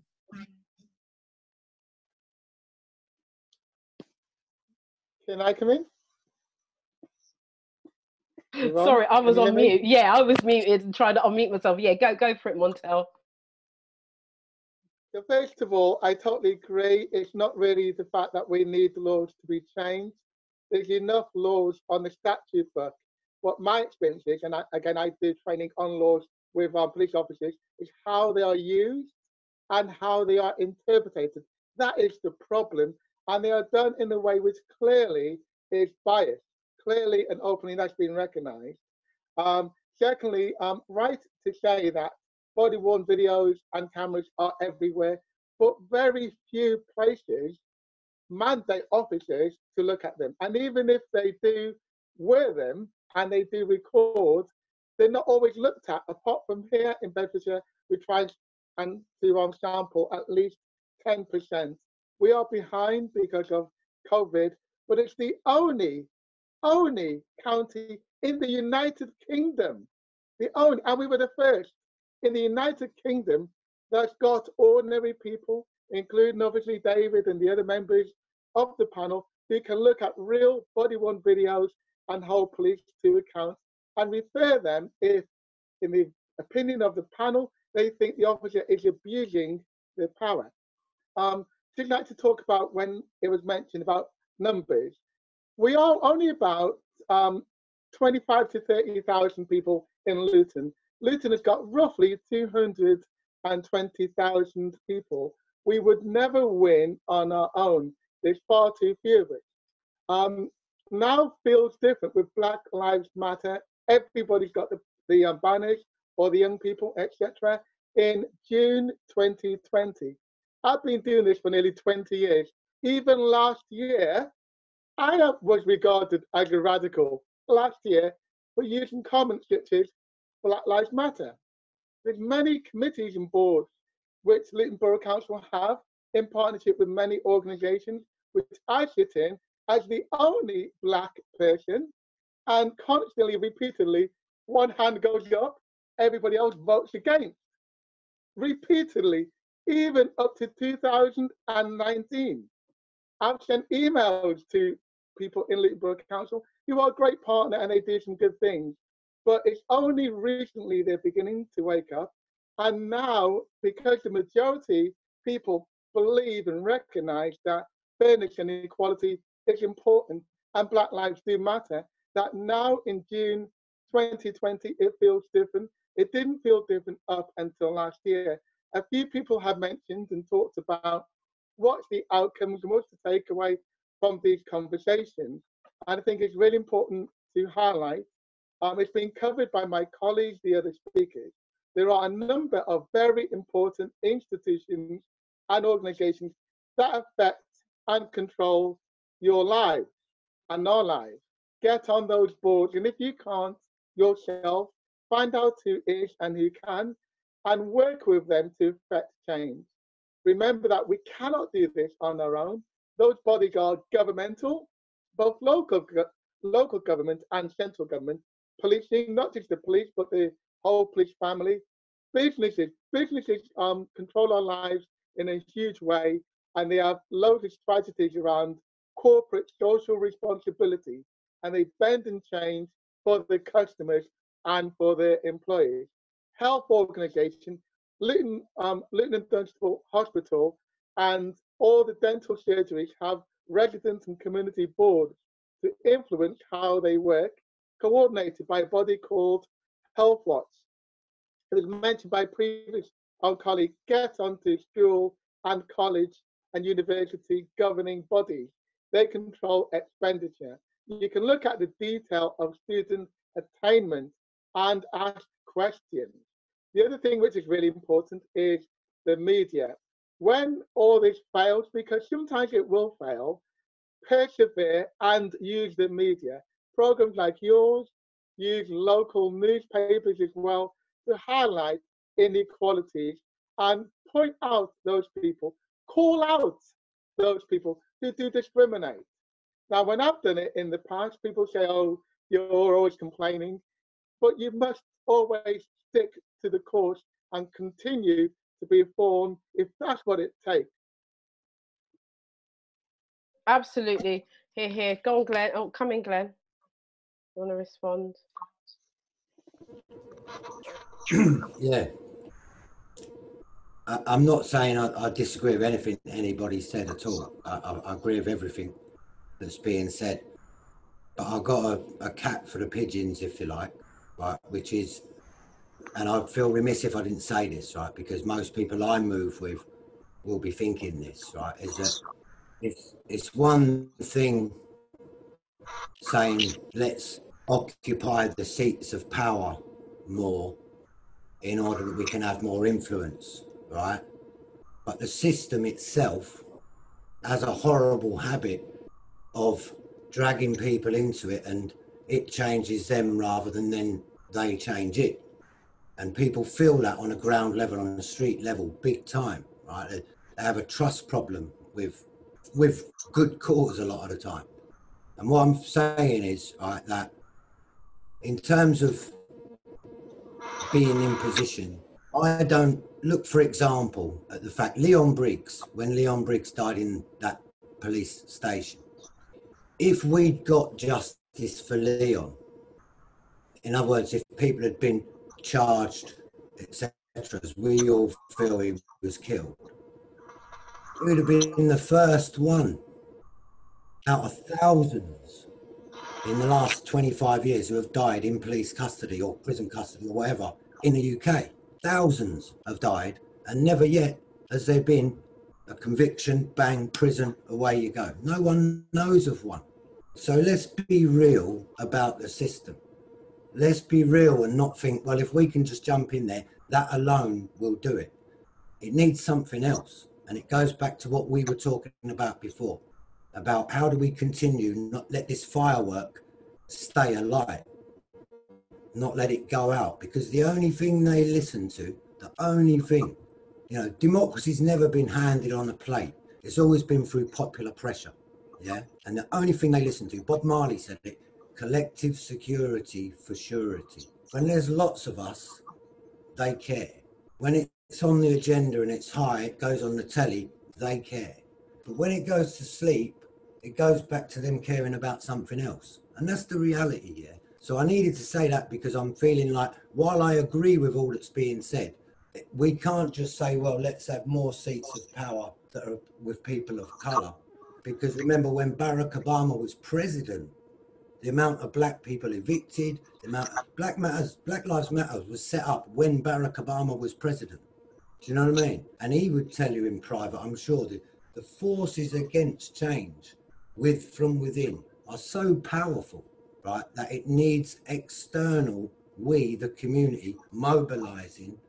I mean, I, just let me say this, yeah, Exodus, I said to you, lasted eight years of every two weeks mobilizing with injunctions, with police, with magistrates, couldn't stop it because of the unity amongst the community.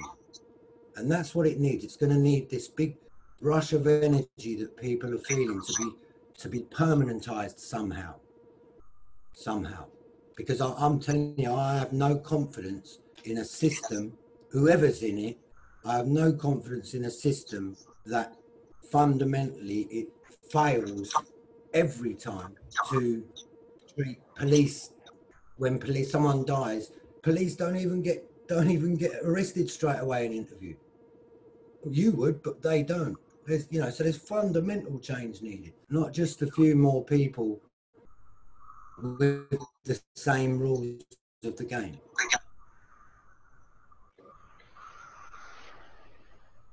Thank you, Glenn. Thank you so much. I do know that um, Sarah has to go now. She's got baby to feed. So um, I want to say thank you for Sarah for joining. And actually, you, I know that you've gone way over what you said that you were able to do. So I do really appreciate your input and the fact that you came on board. So thank you very much. And I will be in touch with you soon. That's okay. Thank you so much for inviting me. And I hope to see you face to face properly again once this is all over and it allows us to.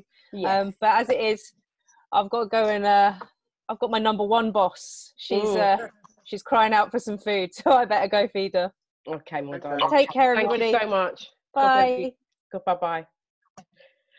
Right, so just just to to to um to just come in on on what what Glenn Glenn had said, I I do um I agree uh with what Glenn has said totally. And one of the reasons why I threw out the law, the thing it was actually a question that was uh, that was sent in earlier, is because what is being seen is that people are killed and, and things but the police are only um, brought to some kind of justice if there is a complaint from the people because in in the with with leon briggs if we go back you know the night vigils was outside the police station and so things were moved on because we we protested. But it shouldn't have to come to that. Black lives do matter and if they do matter then instantly they should be arrested. Instantly. Instantly, and it isn't. So there is one law for us, and there is another law for the system. So, and that is why that question was thrown out um, in into the public. So again, I'm just gonna um, if you anyone wants to come in and respond or, or take the conversation, Halima wants to come in, unmute yourself and and come in with uh, with what you want to say, and then David will come in after. I can see a hand up.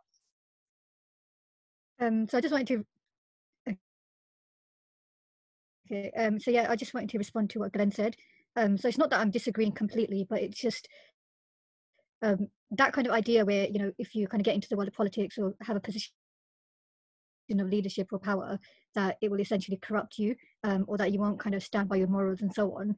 Um, I think a lot of the time that's kind of used to sort of deter people from trying in the first place.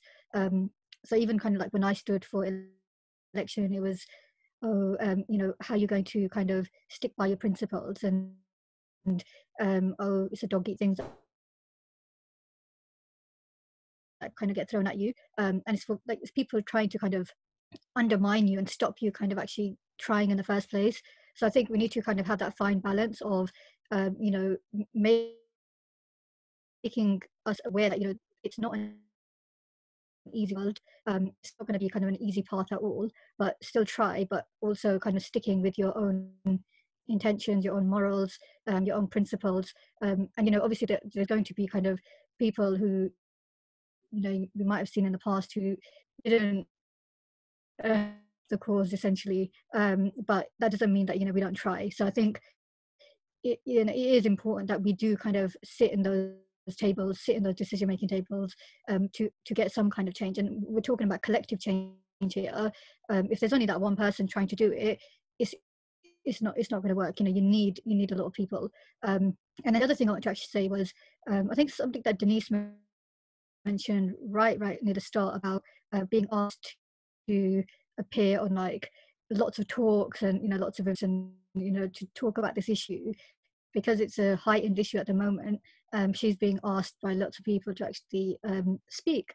And I, you also mentioned about how you kind of um, said no to some people as well um, so on that matter i think it's about knowing your worth um, you know i think someone else mentioned about um, people you know you've got organizations uh, they have um, funding for certain things, like you know when it comes to diversity and inclusion, you know they'll have con- consultants for certain things. But if it was, let's say, it's Black History Month, for example, and they, they call um, Yvonne or they call Denise and like, oh, can I get your advice? Or I'm going to do something that's going to look good on your, uh, especially for some you know youth worker for young people as well. They're like, oh, it's going to look good on your CV. Um, it's uh, going to kind of boost your profile. It's going to give you recognition Mhm. um, and then you find out oh wait they paid um, a white consultant might have been hundreds of pounds so you know 500 pound for a workshop day and then that young person who's black who happens to be black um, was paid nothing um, and they did it for recognition or for the cv um, so i think that's important about knowing your worth um, and especially as a young person you know I'm only 26, um, and I've, I've had it done to me so many times. Um, I've had my student had it, had, had it happen to my students lots of times, um, where you know we want to you know we're passionate about certain issues and we want to kind of say certain things, um, but then you know it's about people using and abusing you and not giving you what what you're worth essentially. Um, so hire out your time as a consultant do you know ask what their budget is for a certain event you know if you're being asked to be a speaker um, and actually you know if if people are saying black lives matter why does it only matter if you know someone died essentially um, or somebody was murdered or you know if something horrific happened why does it not matter just you know, on a day-to-day basis? Um, and also when it comes to those speaking events why is it that you're only speaking about racism? Um, why are you only speaking about you know, a murder uh, or about gangs or others, or the you know, artists, musicians. You know, there's so many things that you could be talking about. So it's about that as well, just recognizing, you know, what the person, not just the race. So yeah. If uh, I could throw it anyone else. Have you finished? Can I come in? Yeah. Yvonne, can you come in next? Yeah. Yeah, come in. I think Glenn wanted to come in, but So Come in, I just come agree with those last comments. Um, there is something which I regularly, every single year, raise with Luton Borough Council. They constantly bring in people, mainly from London and outside, to do um, things in Luton, whereby we got lots of local people who are very capable of doing that. 100% agree with that. That's a problem, and it doesn't change. With 2020, I've been raising this issue, as Glenn will tell you, from the mid 2000s, more than 15 years. Um, there's another comment which I again totally I would agree with. Um, Glenn is right that yeah, you do need to push from the outside, but you do need to help influence from those decision-making tables because around those tables they are deciding who gets employed, um, where the money goes to, what organisations get a particular contract. Absolutely, shout from the outside because it helps if you've got a double um, pronged attack. But you can't just do one. And remember your allies. You cannot do it alone. brilliant. David, come in. Thanks for that, Mont. uh, thanks for that, Montel. Your David, phone. you're on the- You're on mute. You're on mute, David. How did that happen? That's it. Can you hear me? Yes. Okay, to Glenn and everybody else listening, can I be very clear? I, nothing I said was suggesting that grassroots organising, community activists don't have a big part to play. Absolutely, all of us at all levels have a big contribution to make to, to impact change. Also, I am not denying that some people in the structures are socialized. But I've given you my own testimony. I've given you my testimony, and you can go online and put in the search engine Detective Inspector David Michael or David Michael, police racism, and you can see within, whilst I was serving, there are many times in a professional way I was able to go on the BBC News, Sky News, and basically contradict my bosses at Scotland Yard in an appropriate and professional way. And the Black Police Association gave evidence to the Stephen Lawrence inquiry that is serving police officers in the same organisation, basically giving evidence for the Lawrence family against the Metropolitan Police. I personally never worked on the Stephen Lawrence murder investigation, but I wrote a statement of my own, of my own volition, to put into the inquiry to make sure things that I knew in terms of organizational behavior and specific information to such an extent that the Lawrence family welcomed me to sit in their space whenever I went to that inquiry. There are many, there are some people who get socialized into the organizations. There are some people who stand up for what is true and what is right. And there are many of those people. And since I moved on and the people that succeeded me in the Black Police Association, people would have seen many of them on the 10 o'clock news, the 9 o'clock news, in public meetings carrying on the work that those of us who were the early pioneers have started. So it is possible, as I say, now I'm, in- I'm in a political party. I am not just watching my uh, the people who have power in my political party either make gestures or say things. I do it openly on social media. I challenge. So we don't we don't just fall into line.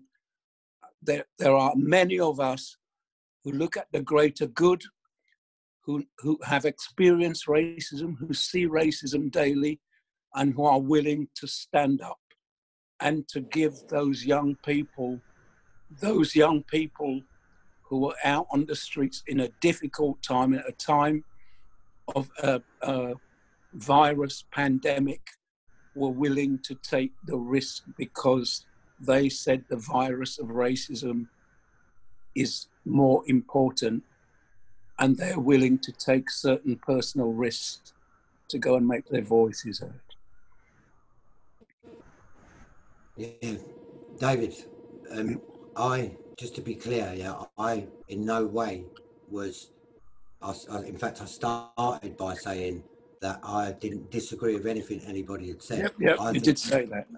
people of you in positions like you're in. I think Montel, I've said to you in it, Montel, man. I mean, keep your eye on their asses, man, because it's good to have that. We're the only ones in the UK I've got on Montel, so I'm all for that, right?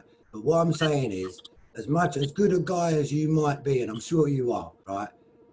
No one ever has been charged for deaths in custody and convicted out of thousands, David. And that was through your time before and after. If you go to America, it's same way virtually because there's an it, there's a systematic defense of policemen because some would argue, yeah, who's Romans I call them in the system, they would say, look, mate, you can't have have expect someone to go out and wrestle criminals to the ground and treat them the same as someone who's do you see what I mean? They so they kind of self-protect. And and that's what I'm talking about institutional there's a definiteness, David. You know, if you're killed by a copper, there ain't going to be no justice. You know this, unless you was a fool. Now look, John Charles de Menezes was shot on the tube. Ian Tomlinson was killed on the telly. They, everyone saw it, and still, when there's cameras there, no one's getting done for that. And that was Keir Starmer from the Labour. I'm in the Labour Party too. That was Keir Starmer as the Department of P, DPP, civil rights lawyer. Some people in the establishment care more about the law than justice. They're two different things because remember, slavery was legal. Apartheid was legal. So the law is a different thing altogether to justice. And we until we get down to these root cause issues, we're not going to crack nothing. That's my. So I didn't mean in any way, Halima, to say at all. I'm, I love the fact you're involved in getting getting faces in there that, that know what life's about. But what I did mean was that an active community, not just when the fireworks up, but generally, will keep elected representatives on their toes. A regular people's assembly that they actually would keep them on their toes. So that's what I'm arguing for a, a permanentisation of the mass gathering so that there's accountability, etc. Not a criticism of any person or person here or anywhere else about being involved. It is, as you say, the two together that will do it. Yeah, Yvonne, can I just have one last word, please? Can I have one last word? Yes, you can. Yeah, Absolutely, yeah. Just to come back to the point that uh, Glenn has raised. Yeah, you can't deny um, the look of things in terms of convictions for deaths in police custody. But one of the jobs I did in the police service, I worked in the uh, what they now call professional standards department. And uh, one of the things even I was pleasantly surprised about when I went to work there was the police officers that rang up, that phoned up about the misconduct of other colleagues. And there have been many cases um, that, unlike what we saw with uh, George Floyd in the States, where police officers intervene and police officers do ring up professional standards when their colleagues either commit criminal activity or other forms of misconduct. So that does happen in the system. And I, um, as I say, I'm not here to defend the indefensible, but the all those high profile deaths in police custody, inquests, you have the people I call cause lawyers who really care. They're not just going through the motions. So they have all the resources they can to represent the families or the deceased person. And uh, we can't argue with what the outcomes are. But as I say, if, if there's something that goes before a jury, the jury have to listen to the evidence, they have to listen to the prosecution, defense, and the judge um, telling them what the laws is, and then they have to come to their conclusion. So uh, obviously, I understand what the look is, and I'm not here to defend anyone. I th- and I do believe everyone, every police officer should be accountable, and that's why I had no problems working in a department where I sometimes had to search police officers' home addresses, search their lockers at work, take them to magistrates' court, take them to Crown Court and the Central Criminal Court. But after I've done that bit, it's up to the jury and the court to come to a determination. And I don't dispute the records are there as to what the determinations are. So okay, so my my experience um, was obviously from the Stephen Lawrence campaign before I left the country because I actually left the country. Um, not for that reason, but it, it, had a serious impact on my life and the way I saw things. And um, I my my big problem has has always been I I received the Macpherson report. I was actually living in the Caribbean. I actually left the country and I was and I remember receiving it through the post, and um, and I read it. And um, I came back to England, obviously, eventually, came back to the UK. And over the years, my big problem has always been how relevant is the Macpherson report today? How relevant is it? And I've often looked around, Dave, and I we're still struggling. My period of time as the chair for Brent Stop and Search, I, I saw so many things that were so unresolved um, and I, have always had problems with with that. I I I feel also with the police. I don't know what Montel thinks, but I still I still feel to a point that they the scrutiny groups do fantastic work, but I still feel in so many respects that we are at Groundhog Day. I still feel that way. I don't feel that the distance traveled is sufficient because I still see far too many, know of too many of our young black men in particular, yeah, that are victims of this awful system. And then I look at the prison goodness me, the prison statistics, yeah, are still so high. I hate that word disproportionality, but it's become like a fact of our life. Hence why I will go back to the same thing again. The police cannot be dealt with in isolation. We have to pull this together. We need a new strategy. And I swear, I until that happens, until we get a new strategy, Yvonne, your grandson will be 28 and he'll be still saying, Granny, what did you do? I'm sorry. Adapt me, I said to you. So the fact that you'd be calling me granny is is is distressing enough as it is. Uh, I'm a Mimi. I'm not granny. I'm too young. anyway, that's beside the point. But I I do hear what Denise is saying. I I I feel this show is is a show we like to find solutions and i know that we are not going to find the solution in two hours. But i think this is a start and it's an a start of i'm picking but it there is just so much to this. There are just so many different facets of the issues around racism it's not just one thing it's as somebody said it's like an onion but this is the biggest onion I've ever come across in my life. And with this onion, you know what happens with onions? When you start to cut into the onions, you start crying. Right? So tears. So many a tear has fallen already, and many a tear is going to fall in order to make this thing change and stick. Now, the one thing I do know that's this is the one thing I know for sure that if you do the same thing over and over again, you can only expect the same result.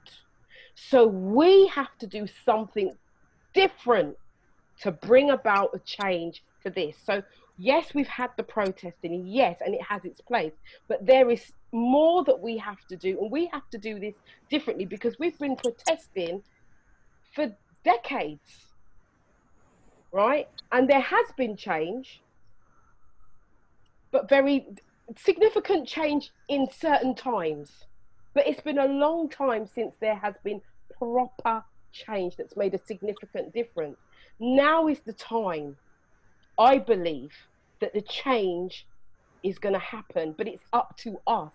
And as we said in the beginning, uh, Denise touched on it, we've all touched on it. It is about the camaraderie, it is about us coming together, and it is about us all taking our place. There are different things that we all have to do, but we have to play to our strengths.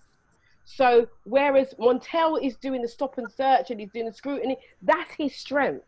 And so he has to, you know, I don't know, uh, the word aggressive doesn't come across very well, but it's the only word that I can think of right now that that gives the, the the feeling of what I'm trying to say. So it's like you become more aggressive in your field. So you're you are you're relentless at what you're doing.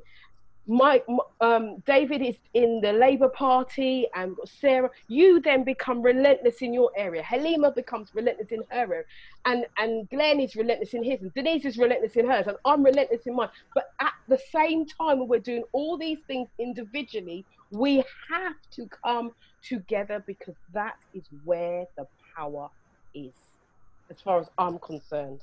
When we come together, we become a force we don't just with when I put my voice, right? This is something that I always say. If I put if I'm just insane shouting out my voice and saying Black Lives Matter, you hear one person's voice.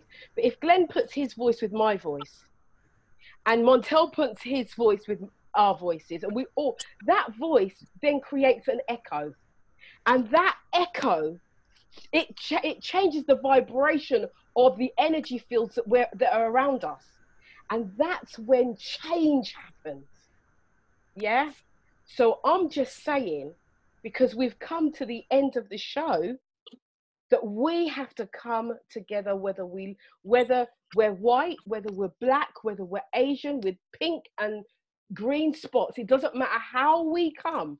We have to come into some kind of agreement and we got to work together. But the black community, let me just say this to you, above all, above all, above all, I've said it three times, we must come together and support each other wholeheartedly. And it's not about, oh, she's doing or he's doing this over there. No, no, no, no, no. It doesn't matter. We come together, we have camaraderie, we are one. We are one people in a struggle. And if we come as one, the power of one, you know, because we're all of the same mind and nothing changes unless this changes first. I want to thank you all for coming on the show. Next week we are we are continuing this and we are talking about how in the within the black community how we stop internal uh, discrimination against ourselves. And we know that it exists. We need to stop it. So we are going to talk about this. I will invite you guys back on another show in a couple of weeks' time.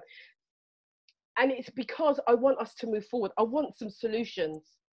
And I know, again, it's not going to happen overnight, but it's really important that we find solutions, that we work together.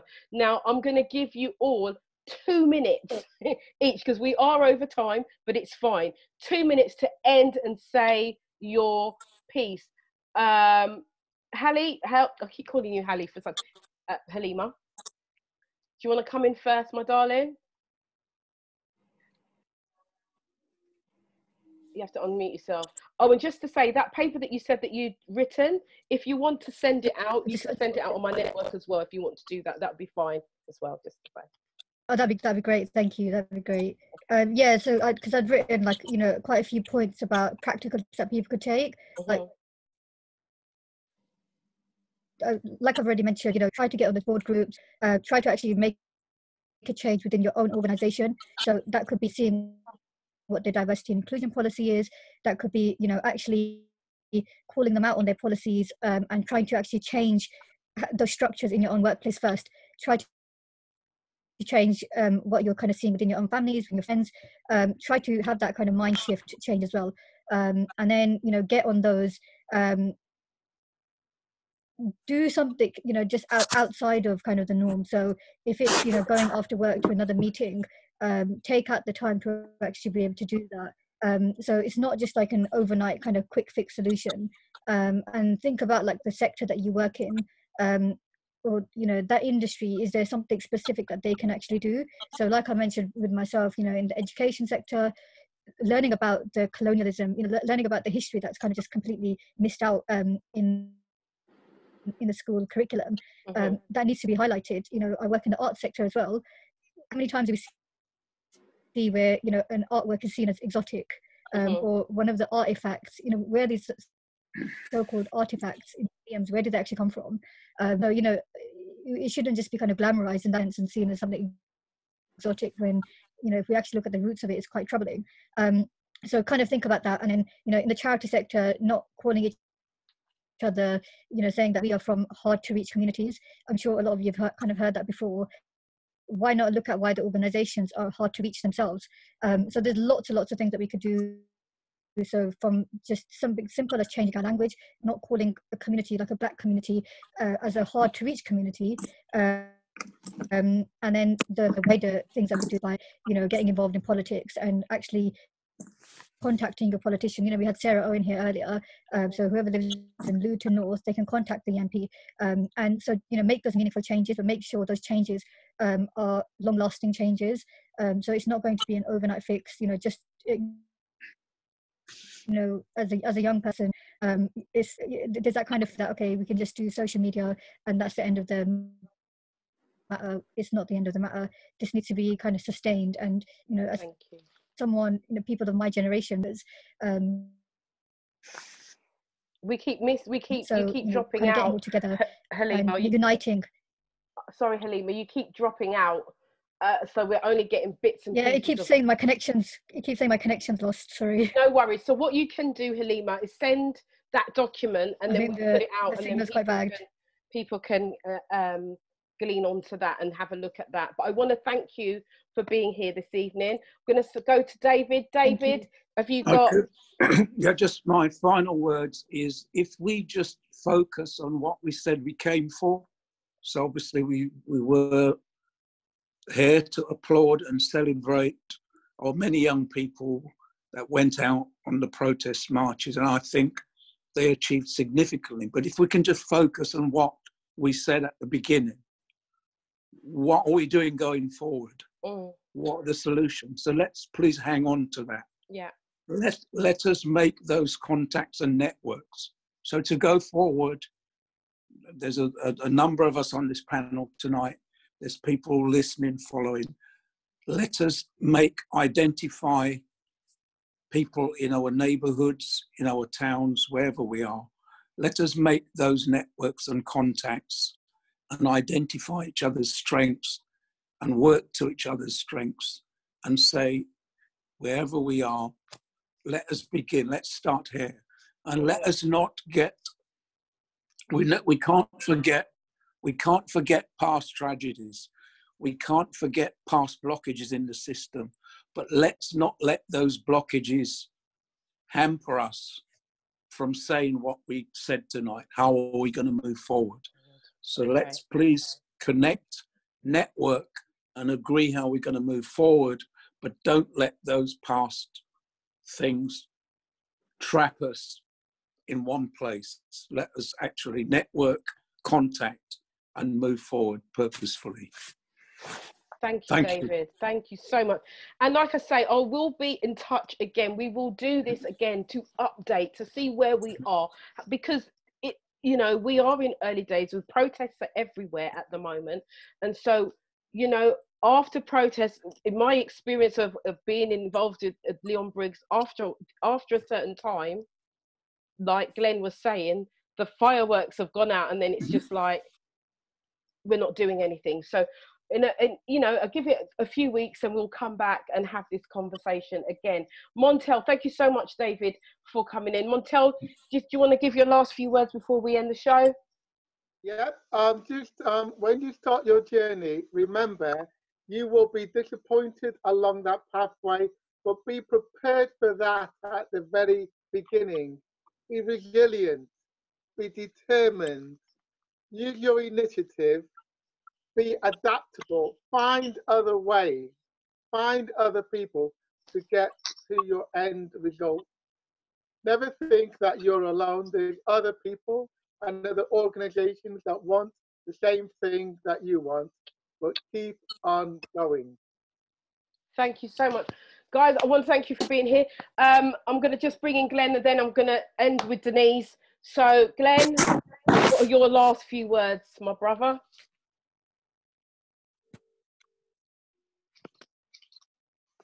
Yeah, um, great, great discussion, really. Um, last few words are, as I said, Bob Marley, collective security for surety. It's, you notice now they've just made the charges more serious in America. That wouldn't be happening at all if there weren't people on the Mhm. street. Yeah. You know, so it just shows again that popular pressure makes progress. You know, and um, and I wanted to end on this. Uh, Macka B. You heard Macka B? He's a, he's a he's an artist from the Midlands, and he tune called "We've Had Enough" some years ago, and it's a dynamite tune in many ways. And you know, you know, you know, you know, like I know that a lot of um, a lot of poetic cause making and protesting is done through music. Mhm. And Macka B's, we've had enough. Um, not only you know talks about Clinton McCurbin, Cherry Groce, and, and and expresses some of the rage that people need to feel, but at the end of it, he makes the point that organising is the organising is the key. And he says, "Show me a disorganised nation," and I'll. He quotes Marcus Garvey actually, and says like, you know, show me an organised nation, you see a strong, proud nation, and a disorganised nation will be trampled on. And that's true of a community, a family, a people. So all you know, Macka B, we've had enough. That's my final contribution. I'm just going to go and put it on out loud and the spirit. You know what I mean, David? Yeah. And upset your neighbours, yeah? Speakers up, man. Get your bass speakers and we're on it. Right, I'll see you. Thank you so much, Glenn, for taking Thank part Good- today. And Denise, Denise Richards, Yeah. the final so word. um, so just in terms of in conclusion that um, the things i've been talking about are actually being actioned so i am looking to get a, a major conference a black conference and maybe yvonne you maybe want to be one of the hosts because you've already got somebody from the bbc who's prepared to host a program a nationwide black conference yeah where the voices can be heard where we're going to be talking about strategy so Mm. I've got two journalists already online, and I've got a BBC person who's going to host it, and maybe you may want to be one of the hosts, Yvonne. Okay. Um, so um, so it's good. So I don't know who's listening in, but it's one of those that you know I'm going to this. I feel uh, more um, enthused, empowered uh, to to pursue the person who's dealing with this. I'm working along with him. And we're going to do it. It's just a simple. We need a massive place. Yeah, we Mhm. need a massive place where uh, the government can see that black people from north, east, south, and west West. have gathered in the UK, yeah, so we can have this talk. And they can then start waking up and saying, oh, oh, they're coming. One of them ones. Mhm. yes, I do. Yeah. I okay. we, we thank you so much, Denise. Yeah. Thank you for the work Yeah, that you yeah. do. And thanks to every panel member for the work that you're doing in the community. It has not gone unnoticed. And I just want to say thank you and say that the support is there for you. Keep pushing, keep going forward, and let's create the change. Let's be the change and create the change that we want to see. All right. So, guys, for Facebook, uh, for those of you who are on the www dot, I want to thank you for listening in this evening. We will be back here tomorrow night between the hours of 10 p.m. and midnight for after dark conversations, big people things, big people conversation about relationships. And the women are going to be talking about what they want or are looking for in a man. We had the men last week, now it's the women's. And so if you've got something to say, jump on board, come in. We have we have a Zoom panel and we run this on Facebook and uh, YouTube as well. All right, guys. So for now, this is your girl Yvonne Michele. I want to thank you so much for being here and listening into this topic. We know that it's, this is a hard one, but we're going to keep ploughing it and we're going to keep working it until we see change. So for now, God bless you, stay safe, and I will see you No, right bye. here tomorrow. Right, right. Ciao, ciao, ciao, Bye-bye. ciao. Good night, good night, guys.